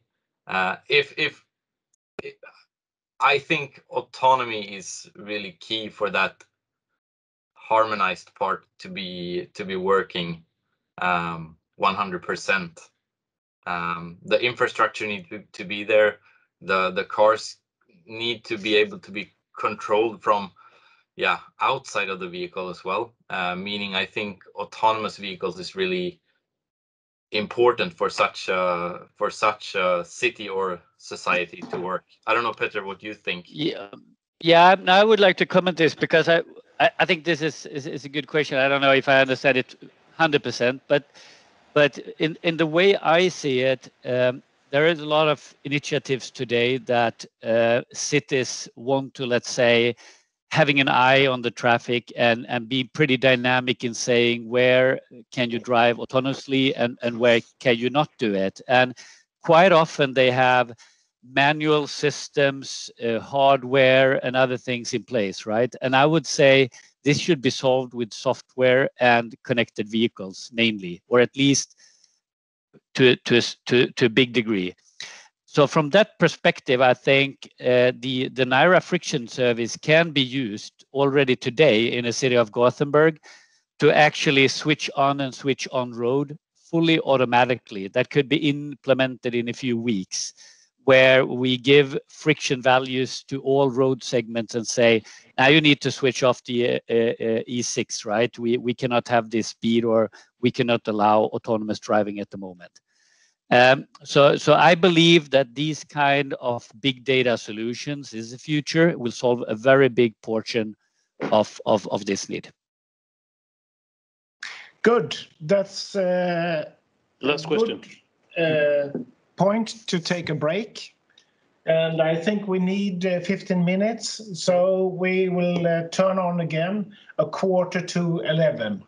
So, quarter to 11, be back for next presentation and uh, the workshop.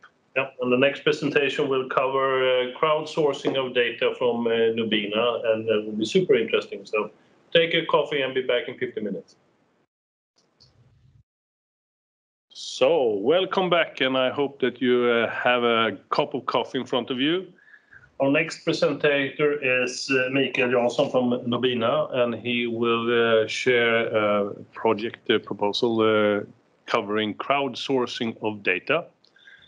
Mikael, the stage is yours. Thank you very much, Mikael, from one Michael to another. uh, and thank you for giving me the opportunity to uh, present a project idea from um, our side. Uh, maybe get some uh, input from the audience. I will uh, see my first slide. There it is. What we are, uh, what what I will present is a proposal of a public transport travel assistant based on crowdsourced traffic information. And I have a short agenda where I will start to introduce to you what Nobina is as a company and what more specifically Nobina technology is doing so that you know where I come from and what we do. And then I will show you the background or the uh, uh, the the problem we are trying to solve. And then I will talk about one possible solution and maybe get some input from the rest of you. So let's start with the Nobina Group presentation. Nobina is a public transport operator, which means that we run the buses. Uh, we do that in four countries, which is Sweden, Norway, Denmark, and Finland, so the Nordic countries. We have roughly 12,000 employees in total. Uh, most of them are bus drivers.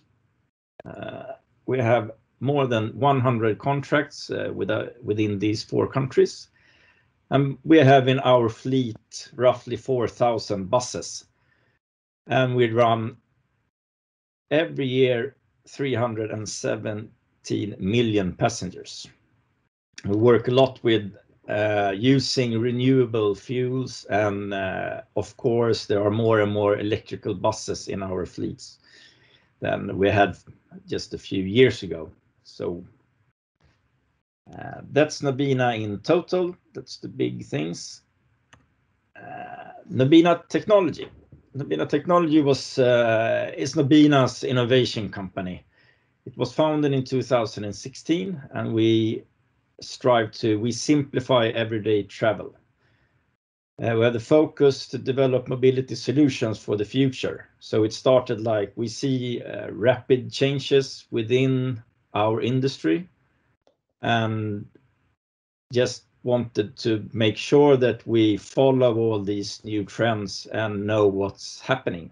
For example, the autonomous buses. What happens if all our buses one day to another um, does not have to have a driver? That's a rather big impact on a company like Nobina. So that's one of the reasons why Nobina Technology was started a few years ago. I will show you a little bit about what Nobina Technology does today. We have uh, autonomous buses in operations for SL, one, uh, the Stockholm PTA. It started in 2018, and it's been running in traffic since then, uh, both winter and summertime. And it's acting as a first last mile solution to feed the main buses uh, within the Barkarby in the northwestern part of Stockholm. We are also uh, continuously developing the autonomous shuttles to take them to the next level. For example, one big next step is, of course, to make them fully driverless, which means that we don't have to have any safety driver on board anymore. That's one of the big things that's happening in the autonomous sphere. We also try to uh, higher the speed of these uh, both from uh, from the technical part of the bus, but also to make the routing better so they can have higher speeds and also the road infrastructure, of course. On top of the autonomous operations, we're implementing new services like on-demand services. We are testing that as well in Barkarby. We also do some research in the scope of uh, AI, uh, like the control tower and connectivity. We need to have a control tower uh, when we have buses running around without drivers in them. So that's what we are doing on the autonomous side. Besides those parts, we have two apps currently in Nobina Technology. One of them is Resa i Stockholm, which was the first app for the public transport in Stockholm. It's a travel planner with search trip, has bus stop information. We also added these power features, as we call it, to uh, for the commuters, so you can see actually where the bus is. Uh, SL just released that a couple of months ago, actually. We also have a uh, power feature, as we call it, like show the the travelers where you should be placed in the train. Like if you take a commuter train or uh, subway, you uh, we tell you where to sit, so you have the quickest way to get to your exit when arriving to your destination. We have roughly 400,000 active users in this app today. The second app is somewhat related but completely different. Uh, this is Nobina's uh, Travis. It is a mobility as a service platform, and we believe that this is actually the first real mobility as a service platform, at least within Sweden. But you can challenge me on that if you want to, because it's, uh, of course, dependent on how you define MaaS. We have at least uh, SL tickets, so we sell uh, single tickets in Stockholm. We have a deeply integrated Voi as a scooter supplier. On top of that, we have taxi and rental cars. So we get all these different mobility within the same app. We launched the Voi integration just a couple of weeks ago. Uh, so that was the background. What is the actual problem that we are trying to to solve today? Uh, the first one is disturbances within the public transport. Uh, today, a lot of people that travels with the public transport at least think that there are a lot of disturbances, even if the numbers state other things. Um, normally, the actual information regarding these disturbances, for example, if the commuter train stops, um, you're not. It takes a while before you are informed as a passenger that what is happening and why.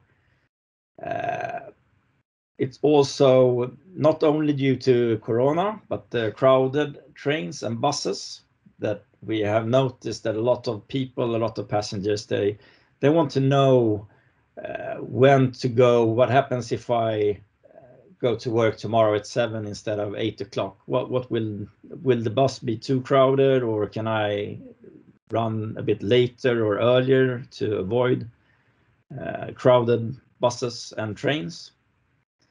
Uh, and the third thing that we have noticed is that a lot of the travel planners, maybe the the open trip planner does, but a lot of the other ones, they don't take the these disturbances into account. And on top of that, we would of course have the crowded trains uh, uh, feature to be implemented, so you can choose um, to to tell the trip planner to use this input to to give you a good proposal of uh, which bus to take. So that's the um, problem definition. We have divided this into different areas to emphasize uh, uh, what's important. Um, the smarter trip. The passengers want to get to the destination the best way possible it should be super easy to use the public transport. If it's too hard, we will choose another way, and we need to trust that this uh, is really a smart trip. The disturbances, as I talked about, I want to get there anyway. Should have the um, you should trust that the, your trip planner will tell you which way it's is the smartest way to to go to work or wherever you're going even if there are disturbances along the way. Uh, and safety. I, I want to feel safe. A lot of passengers or travelers, they, they will choose another way of transport if they don't feel safe. And that's really an important part to take into account. And the information that we get today, we see that the the information normally it's a bit too late maybe or with all these push messages you can get and uh, you will get flooded with information. So you get information about buses being late when you're not interested because you might be home having dinner so you don't care about when the buses are late. Um, most of the information are a bit too generic. So um, you will get like generic information about what happens in your area. Maybe you're not you're not interested because you're only interested in your trip and where you're when you are leaving. You want to know uh, will my bus be late, the one I plan to take in an hour from now, or do I need to start my trip earlier because of disturbances in in the traffic? So it, the actual trip planner needs to be smarter to tell uh, me what I would like to know uh, and not just general information. And also we see that you should get a notification when everything's back to normal. It's easy to say when, yeah, the all trains has stopped. Yeah, but when are they back again? we see that a lot with um, uh, with the trip planners for for road and and vehicles as well. That it's uh, it's hard to to get the information when everything is back to normal as well. And as I said, you you want to as a user, I want to see this uh, at the right time when I'm leaving, when I'm planning my trip, when I'm sitting eating breakfast um, 30 minutes before I'm I'm about to take uh, my bus to to work, I would like to see um, what the traffic situation is like in the public transport. just like you can do on other transports. So one way that we believe is a good way is crowdsourcing. So what is crowdsourcing? It's really to get the data directly from the travelers with an app. I've added that. And what we see, the data we would like to get in as uh, number one and two is the traffic information. For example, when the commuter train stops, the user should automatically open the app and, tell the rest of the world the train has stopped. Uh, also the crowding information, as I talked about, oh, today it's uh, unusually crowded on the bus. Let's inform my commuter friends about this. And as a user, I want to know uh, what about the next bus? Will that be less crowded or train than this bus? So I might skip a bus or a train to to take one that is less crowded. Uh, of course, crowdsourcing could be uh, you can gather other data than uh, just the ones that I have shown here. We see that traffic and crowding is uh, really what priority number one for us. But if you have any other ideas out there, what we could gather in when having crowdsourcing, just let me know. So why should we use crowdsourcing? We talked about other ways today and standardization, for example. And this is going a little bit in the other direction to not be dependent on other systems. There are uh, traffic information systems uh, already out there, but one uh, problem as we see it is that there is no really good standardization, not good enough for giving our customers what they need. Also, there there are not traffic informations in all places. So um, even if there is no public data available for an area, crowdsourcing can be used um, to fill that gap quicker information between travelers. Uh, today, as I already mentioned, it takes a while before the the information about the train stopped, and before that ends up in a trip planner or even on the signs uh, on on the train station and bus station, it, it takes too long. So if we have a crowdsourced uh, way of getting the data, we can also give it back in a really quick way to the users so they really can have a real-time live update of, of the situation, both when it happens and when uh, everything goes back to normal again.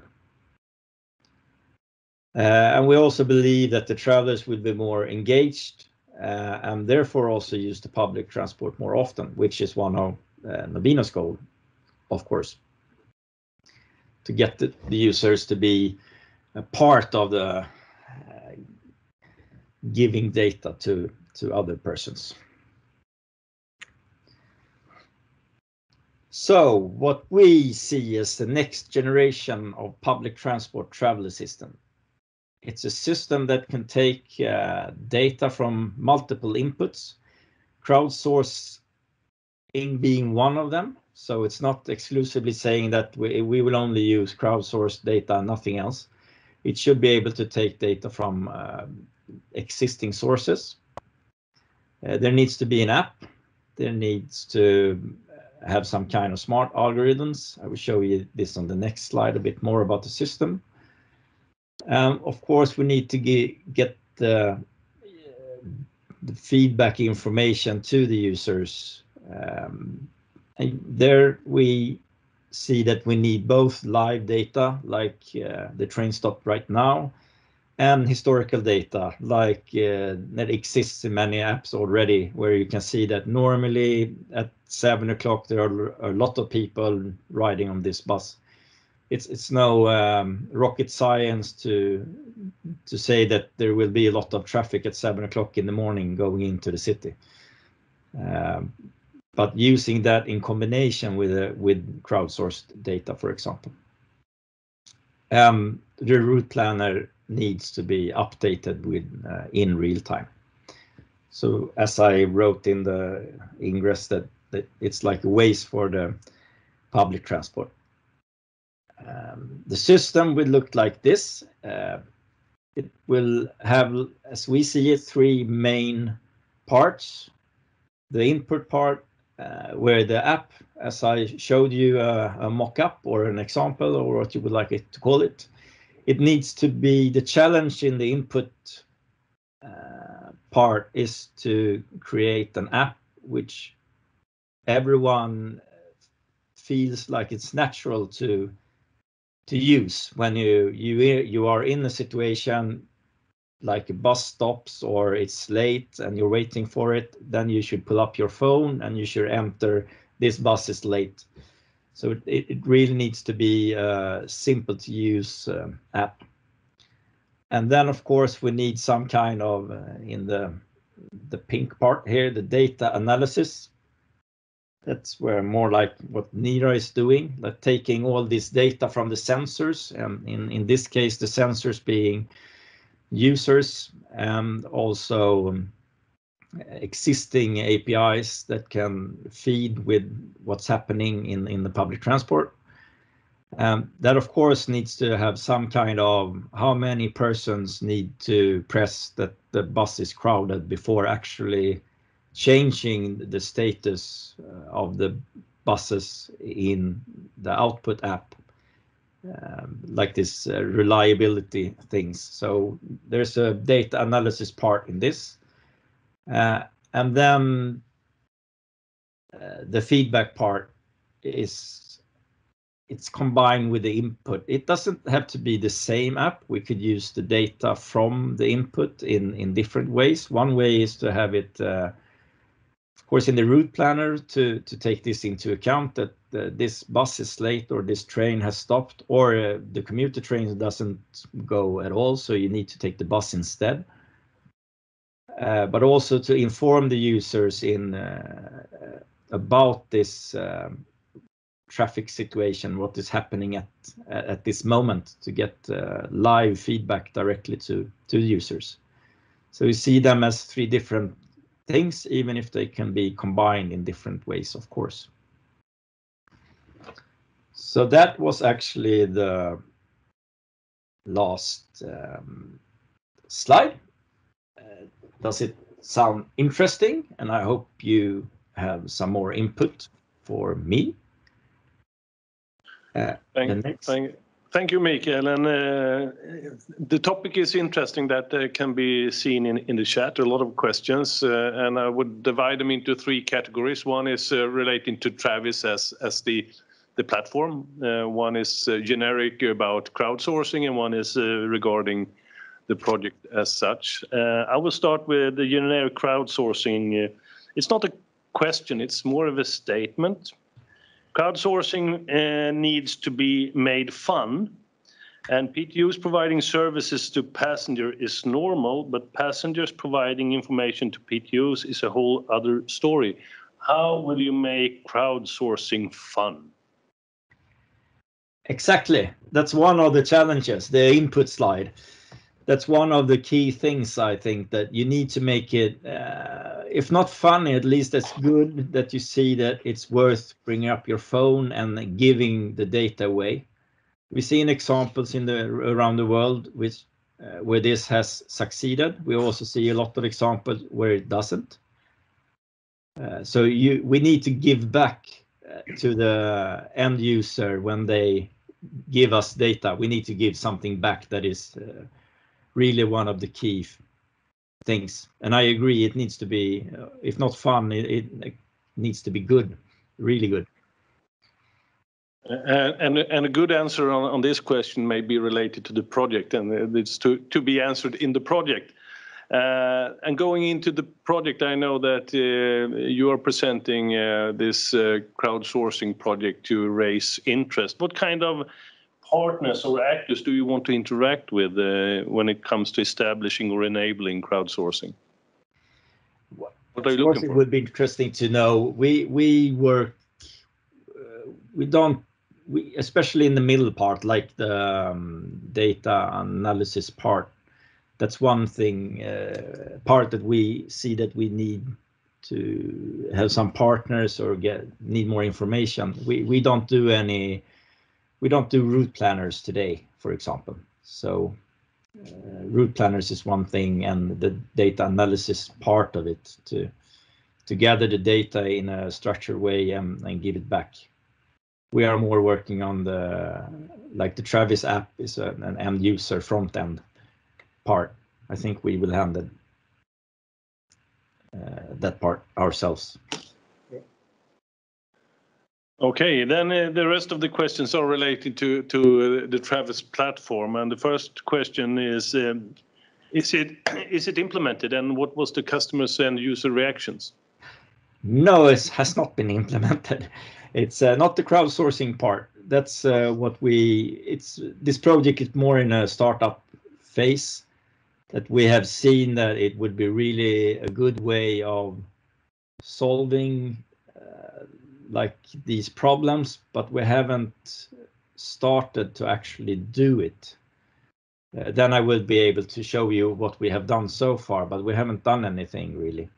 It's more on the idea stage at the moment or the plan. But You have uh, Resa i uh, Stockholm is launched, and you have 400,000 users. What is your overall customer feedback?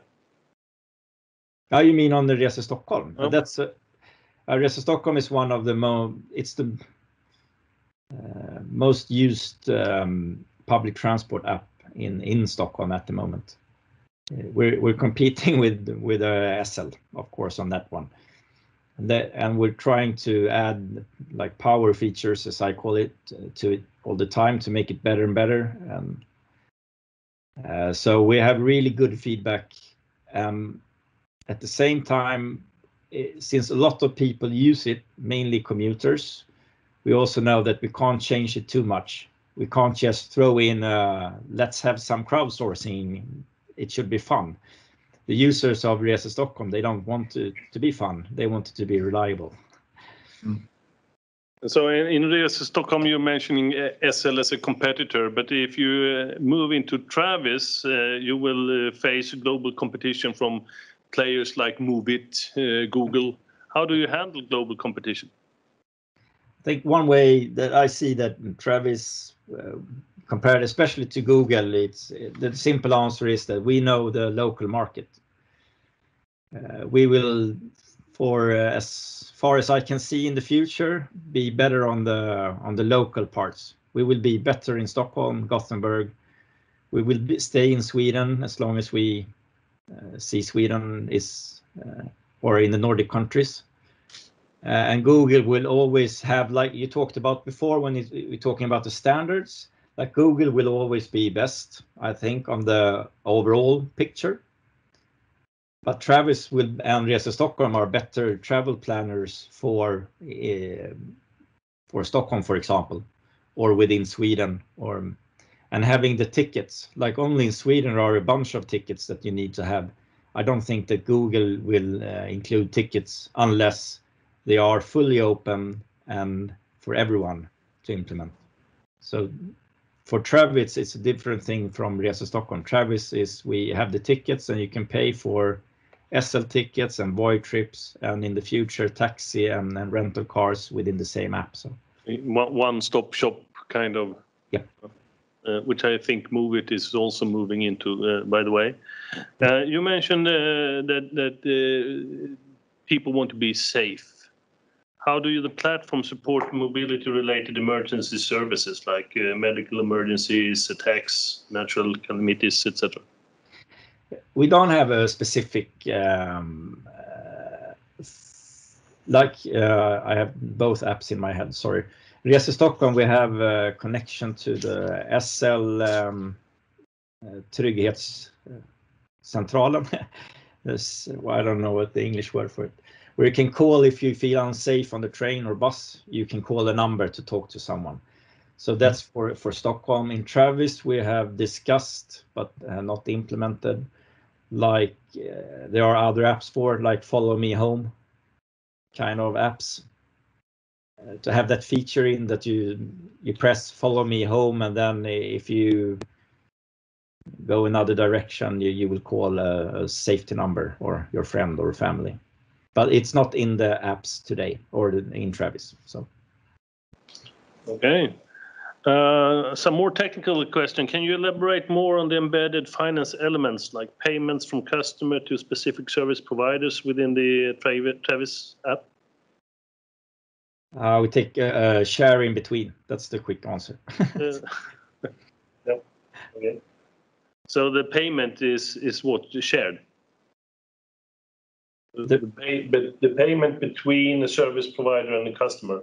Your data sources. Do you pay for the data you get from other uh, Uh, data sources in Travis? No, we uh, if we sell tickets, we get a share on the tickets. So we don't have any monthly fees or anything like that for the end user. And for it's it's the the same with uh, the scooters. We, we if we if you buy a trip uh, a scooter trip uh, in Travis, we get a share of that trip. You you have a kickback on on the tickets. Yeah, exactly. We have a kickback. Either it's public transport or other mobility services, Yes. But you're not paying for data. No. We use the open APIs for um, from SL and from others uh, in in Sweden. Um, and of course, it's um, from Voi. We use their APIs. So Good. Okay, that was the last question. And uh, if uh, anyone is interested to join the crowdsourcing, uh, they contact you, right? yes, absolutely. I had my email on the next slide. Actually, you removed it for me, but uh, Yep. But you can find it. so this is an example of uh, presenting an issue, and now Mikael is ready to take an action together with you. So please join him. Absolutely. Next speaker. Yeah, so now we're moving into uh, our business model lab, and uh, Rami will uh, take you through uh, some question polls about uh, business model challenges when it comes to data sharing. Absolutely. Thank you very much, uh, Mikael. And uh, I would like to first thank all the presenters uh, for interesting presentations on data sharing challenges. Um, do you see my screen? Yes. Great. So uh, thank you very much. Uh, I am Rami Darwish, project leader of uh, Drive Sweden Business Model Lab. I'm a researcher at the Integrated Transport Research Lab in KTH. Along with me, the project team uh, from Business Model Lab, Roland Elander from Sustainable Innovation, as well as Liselotte Mulder from KTH ITRL. So the Business Model Lab, uh, some of you uh, have already uh, heard about us, but uh, for those who don't, uh, the Business Model Lab is a strategic project under Drive Sweden umbrella and funded by Vinnova. Uh, today, um, let me see, yes. Today, uh, we will take you through an overview of the lab. Uh, what do we do and what are our goals? Uh, we will zoom into some of the important data sharing challenges that are facing business models. We will go to a poll. Uh, we will pull your opinions on uh, prioritization or like maybe the most important data sharing challenges and summarize and open for questions in the end. Um, the Business Model Lab uh, aims to uh, accelerate the implementation of uh, sustainable innovations within future mobility, with uh, underlying all the technologies from automated, connected, electrified, and shared mobility. Of course, we, we take the, this uh, niche um, action on uh, identifying the opportunities, the bottlenecks around business models that are hindering the progress and scale up of uh, sustainable innovations. So we act as an, as an incubator and a learning space for our industrial partners uh, in order to help them with business model adaptation, business model innovation, and business model development uh, in order to reach our sustainability goals and scaling up uh, sustainable innovations. We have three main objectives that we uh, work uh, towards with, uh, within the lab. The first is fostering learning and collaboration. And I think this is a highlight when uh, usually business models are done in like smaller spaces, but the lab offers like a wide space to collaborate with different partners and different actors. And I saw in the chat uh, previously to, to some of our presenters that this is a frequent question. What kind of actors you need in order to scale up or go to the next level? The lab tries to do that. And we help then with more like specific cases to develop scale up scenarios and generate business model projects where we succeeded in the last years of generating plus 10 million SEK projects around business models, of course. Uh, here's an overview of the Business Model Lab. We tackle a business model bottleneck. These are the drivers of our lab, uh, as well with the pressures coming from sustainability challenges, as well as the technological innovations providing opportunities. The lab tries to work uh, with collaborative mode. So we hold thematic workshops, um, knowledge partnerships, uh, and collaborative business model workshops. We help our partners with business modelings and also, also offering funding opportunities through Drive Sweden and Vinnova. Here are our partners uh, that are uh, joined to the lab 2021-2022. Uh, As you can see, we have a great collection of innovators uh, from, from different sizes, both large uh, large partners or large industrial partners who are working on new business opportunities uh, in order to adapt uh, with new technologies and sustainability, as well as entrepreneurs trying to uh, take up their uh, small and medium enterprise to the next level. And we're seeing a lot of interesting collaborations with electrification, data sharing, uh, automation, you name it, know, all, all aspects of future mobility. Here are some of the workshops. As you can see, we, we tackle the challenges, tried to map the business models, and we worked with the pandemic impacts. And I think here rose the importance of data sharing and data driven, uh, where we saw that the value of data uh, providing both opportunities as well as uh, threats and, and real challenges to, to future business models. Um, I would like to invite my colleague, Roland Elander, who will be joining me now to present to you more about the data sharing challenges. Uh, so Roland, would you please, uh, without further ado, I introduce Roland. Uh, thank you very much. Um, as Rami said, we are a lab for business model. We're grateful for the opportunity today to present just an overview of what we're working with. And Uh, in a group like this, I think it's in place to look at mainly our general learnings. So if you want to have more in-depth discussions with us, please contact Rami or myself and we could go into details. But on a general level, working with business models and how to share data and why, the questions we are looking into thoroughly are how does data sharing support new business models? What are the most critical implications of shared data? What challenges can be solved by shared data? And as you saw, the number of partners in the lab and also the type of partners in the lab shows a great variety. So we have both large corporations like OEMs, like freight carriers like DHL and Bring. We have waste management companies, as well as smaller SMEs, innovation companies like Freeway and others, which are developing digital solutions for connected vehicles, and those are all into sharing data, obviously. So what I'd like to share with you today is just what are the top-level general learnings that are uh, general from both the small innovative companies and the large freight waste companies as well as OEMs. And we have two learnings that we'd like to share today. The first one is at the first glance quite obvious, but we don't think it's really worked through.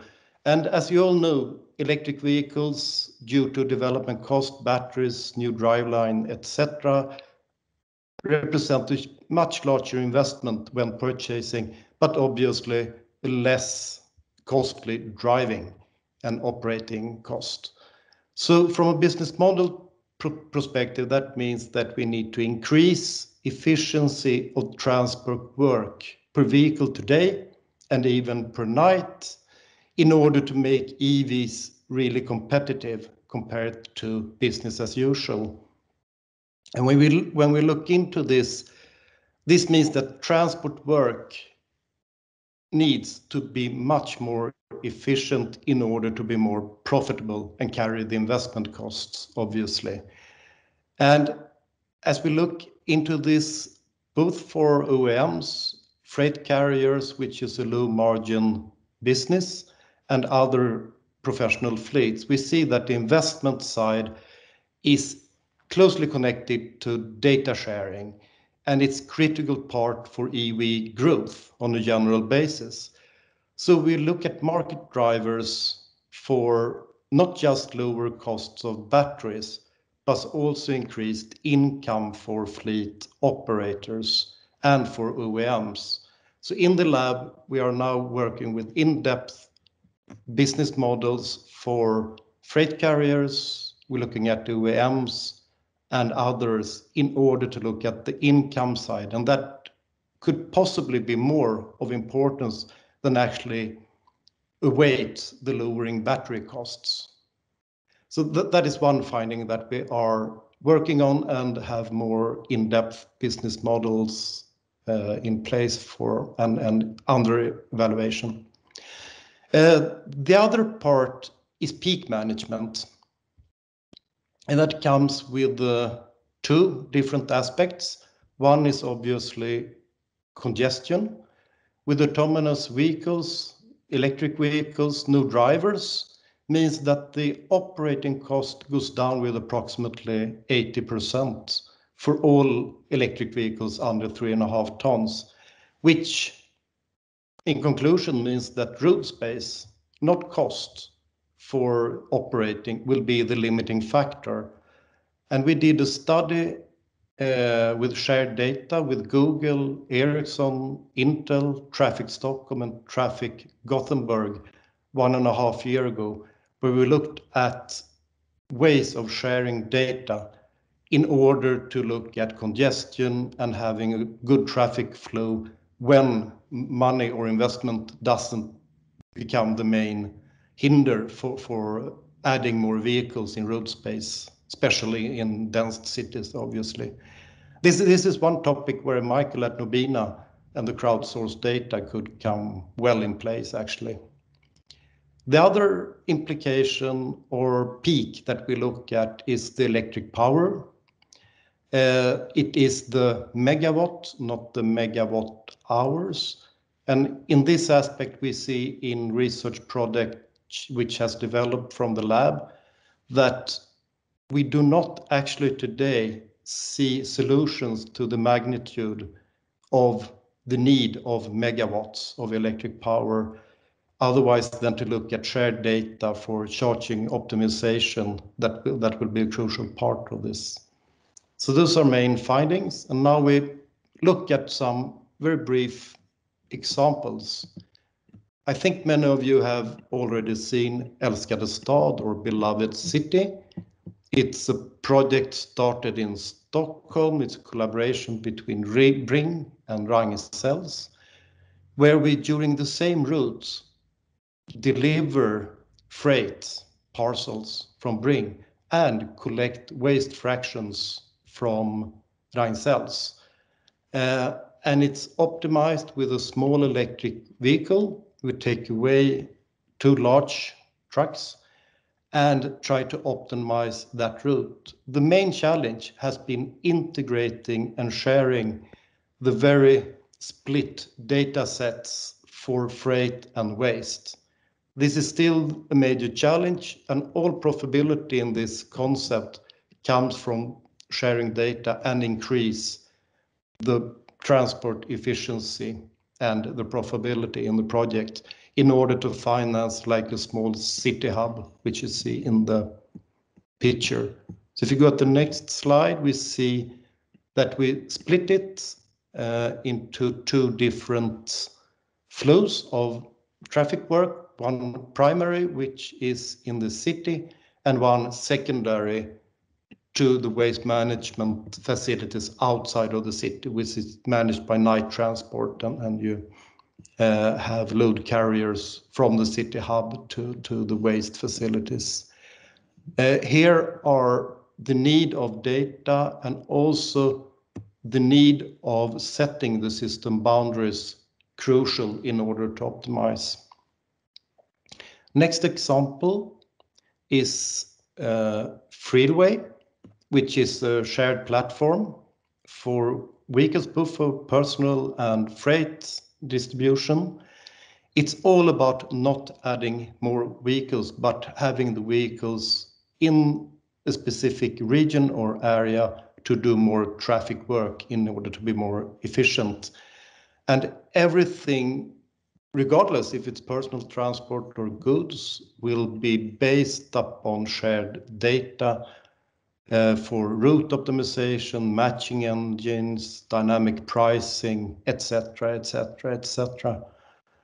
Uh, a last very quick example is a project which is called TED, Terminal Charging of Electric Distribution Vehicles, which addresses the and stresses the problem with electric peak power.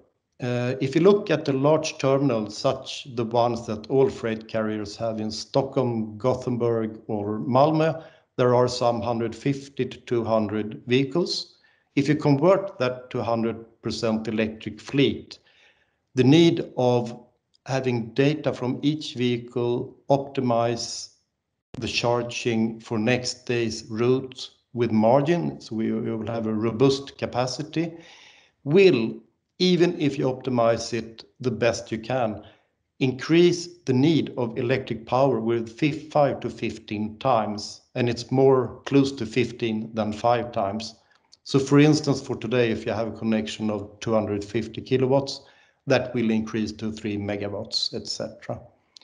Uh, and this will go along with all neighboring terminals as well as other industries. So the solution to this is actually not on the table today. It's that much of a challenge. Uh, but we see that the cheapest way to address the problem is definitely looking at data sharing.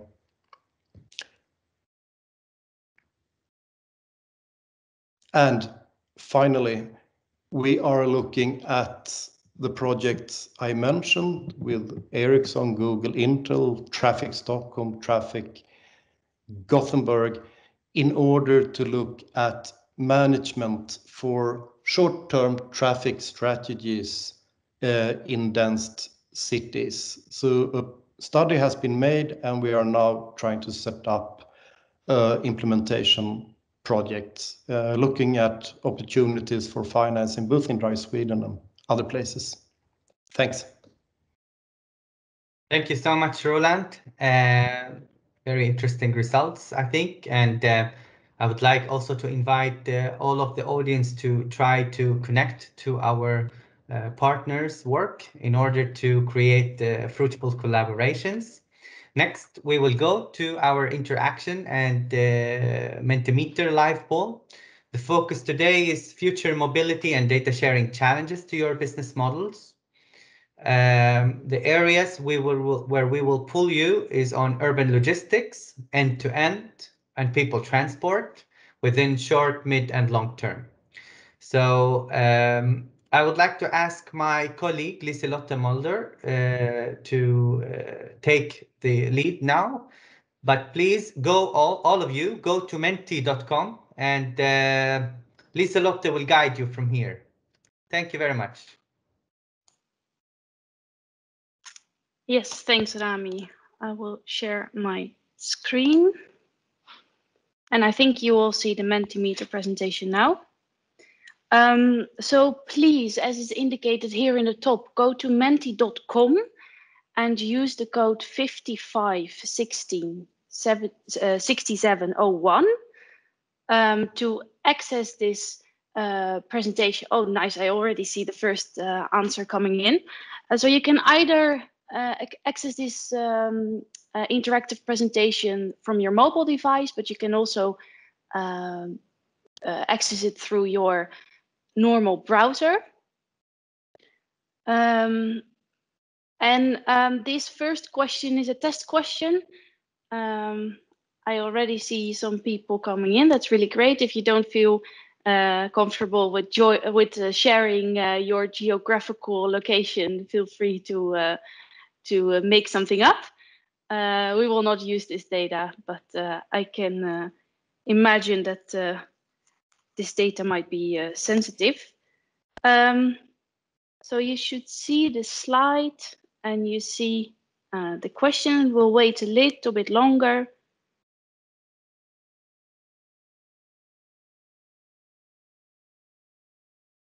So again, go to menti.com and use the code that's indicated here in the top. Uh, 55 16 67 01.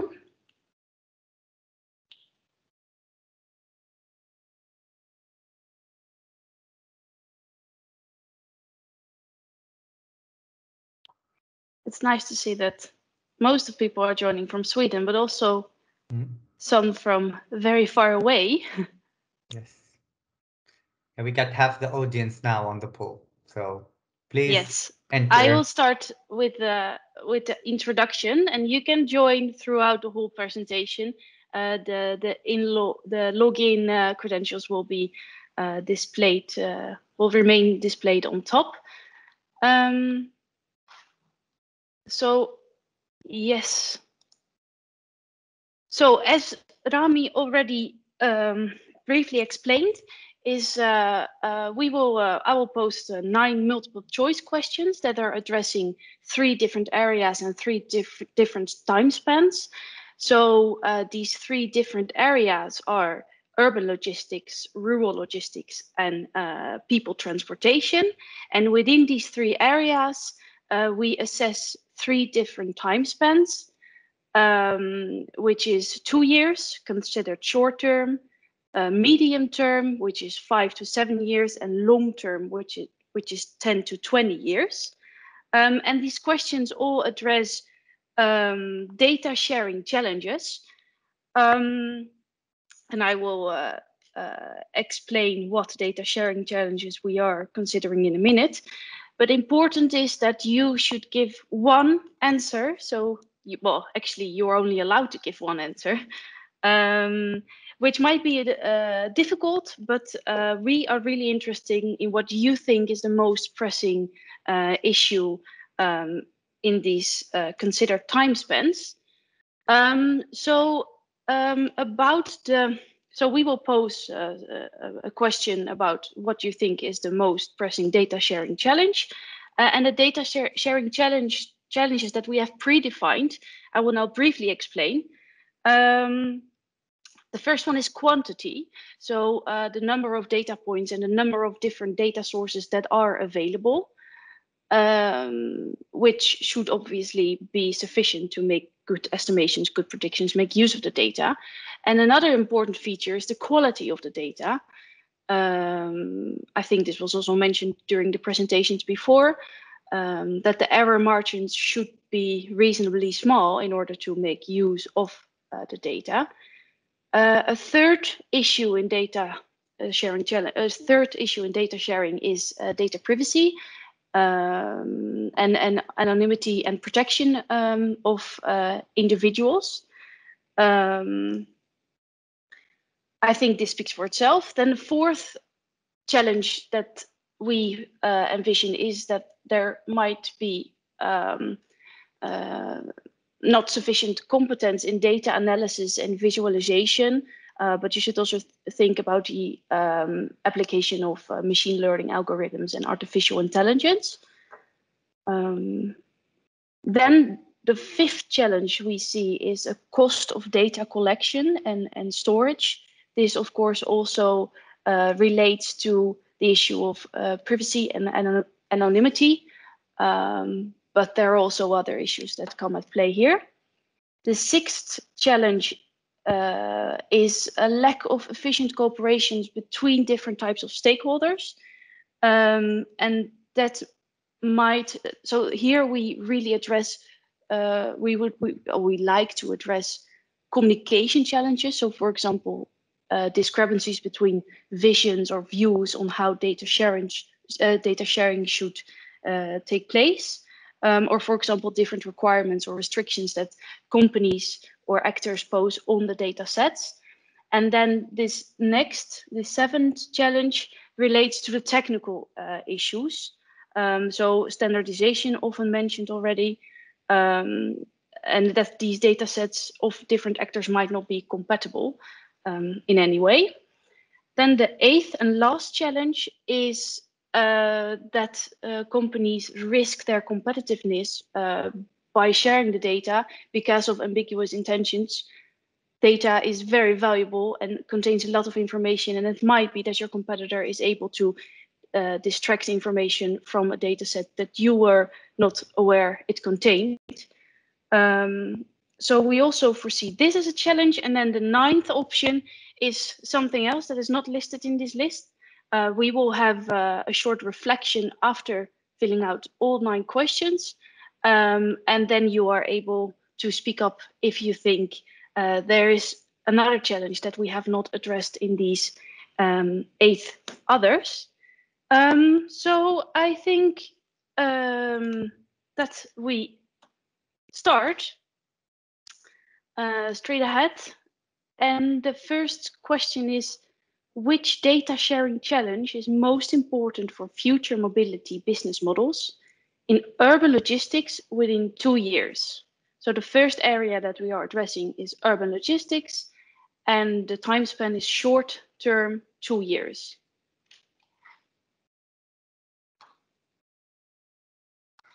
Yeah, waiting for the first answer.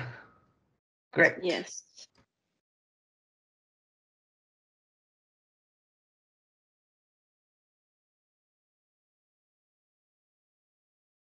Hmm? Yes.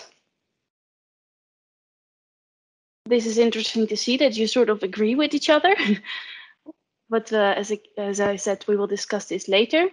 And then uh, I will move on to the next slide. So make sure that on your mobile phone or in your web browser, you are following me. Um, I think if you are not on the same slide, it is indicated at in the top of your on the top of your screen. Um, and here we uh, discuss again urban logistics, but now a medium time span, so five to seven years. Do you think that everything anything will change then?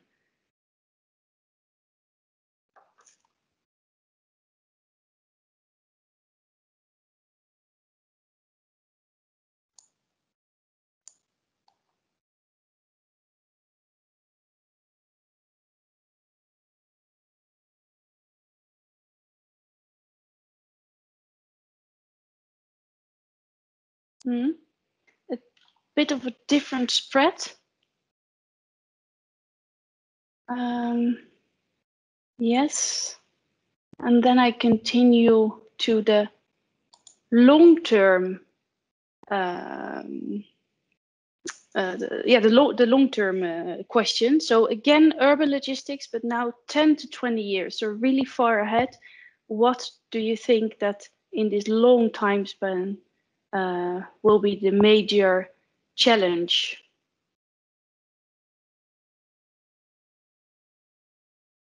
And again, make sure that you are in on the right uh, question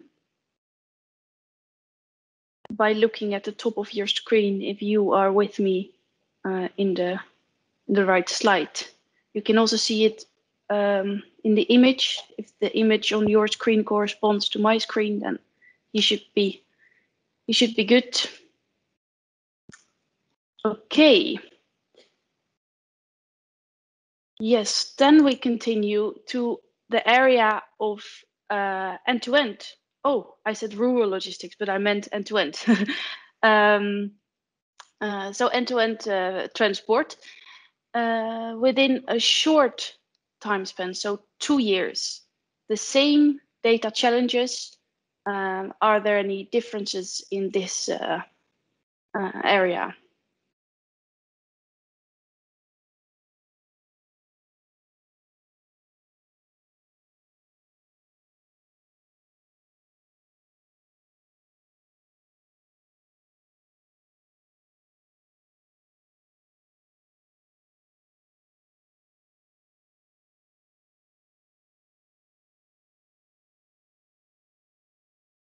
Yes. Yeah, seems like lack of efficient cooperation. Mm-hmm.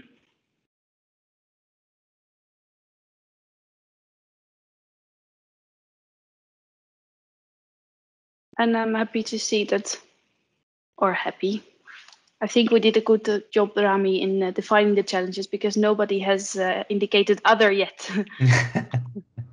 yes. Um, so then we continue to the um, fifth question, uh, again addressing end-to-end and now with a medium time span, uh, five to seven years.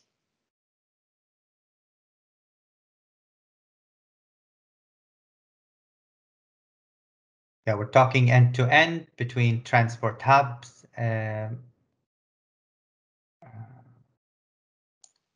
hmm, now we see the results. Quality. Hmm. So quality and reliability seems to be an issue. Uh, if I remember correctly, that was al- also the case in urban logistics.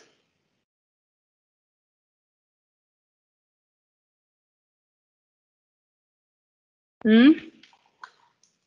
Then I continue to the next question. So the last question for end-to-end, and now the long-term challenge that you foresee.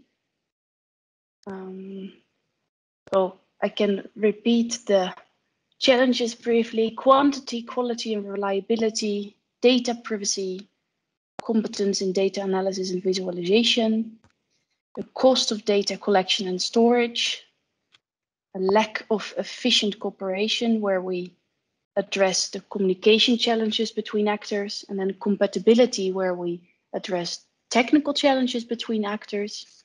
And then the last one is competitive competitiveness risk, um, where companies might share more data than they would like. Hmm? Waiting a little longer until we hit 2024. yeah. Data privacy seem to be. Hmm? Hmm? So I'm very curious about the discussion in a few minutes because it seems as if there is a, uh widespread widespread opinions. Yeah. Uh, so then we continue with people transportation, uh, short term. So the short term challenge you foresee in data sharing um, regarding people transportation.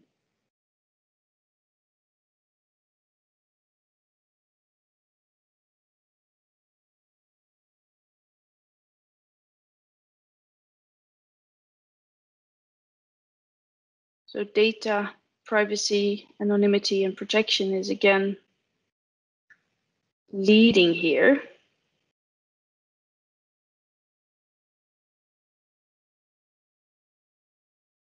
Mm, Yeah. We got in the chat that this is unsurprising for people transport. Yes. mhm. And then I continue to the next question. So the same area, people transportation, but then five to seven years. Has anything changed or are we still battling the problem of data privacy? Mhm.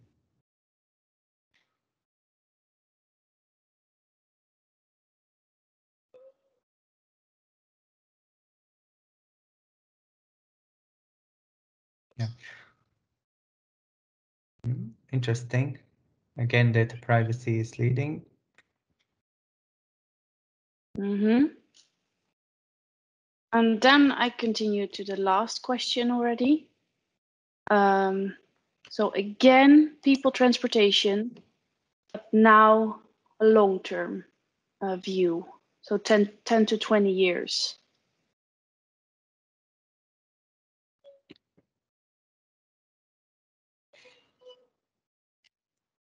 Mm-hmm.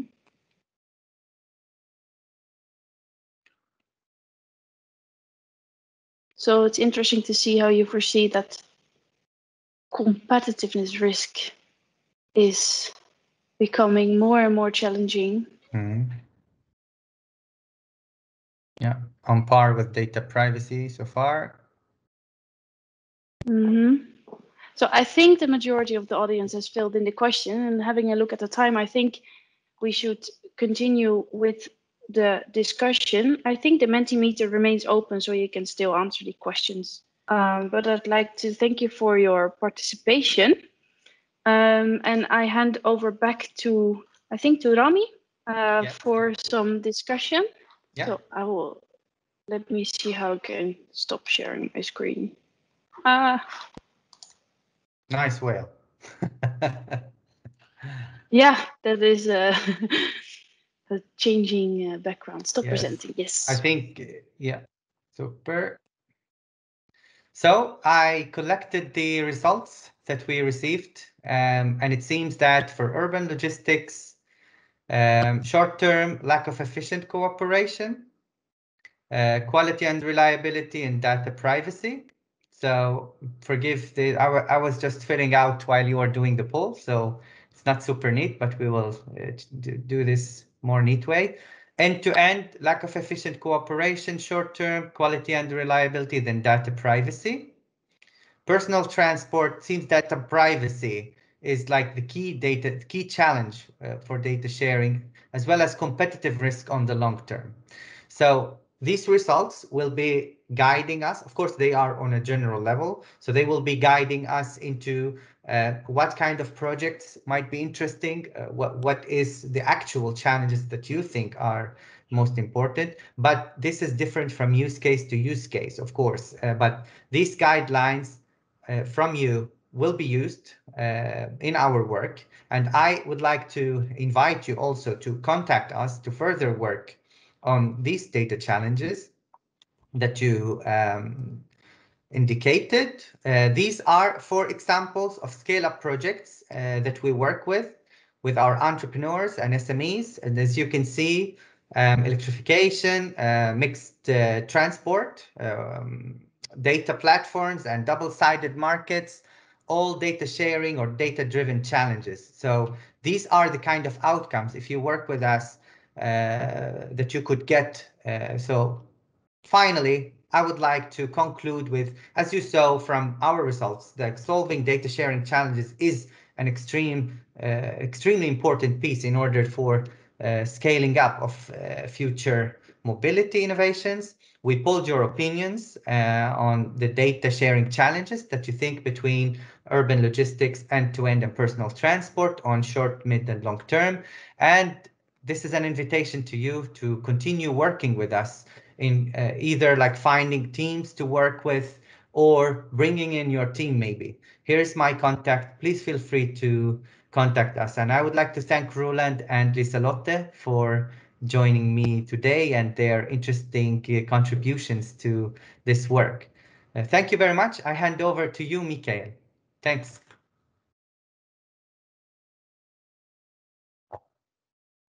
Thank you, uh, Rami and the team for for this uh, uh, go through of, questions for business models. I have a question for you, Rami, when it comes to the all the questions or rather the answers during the poll.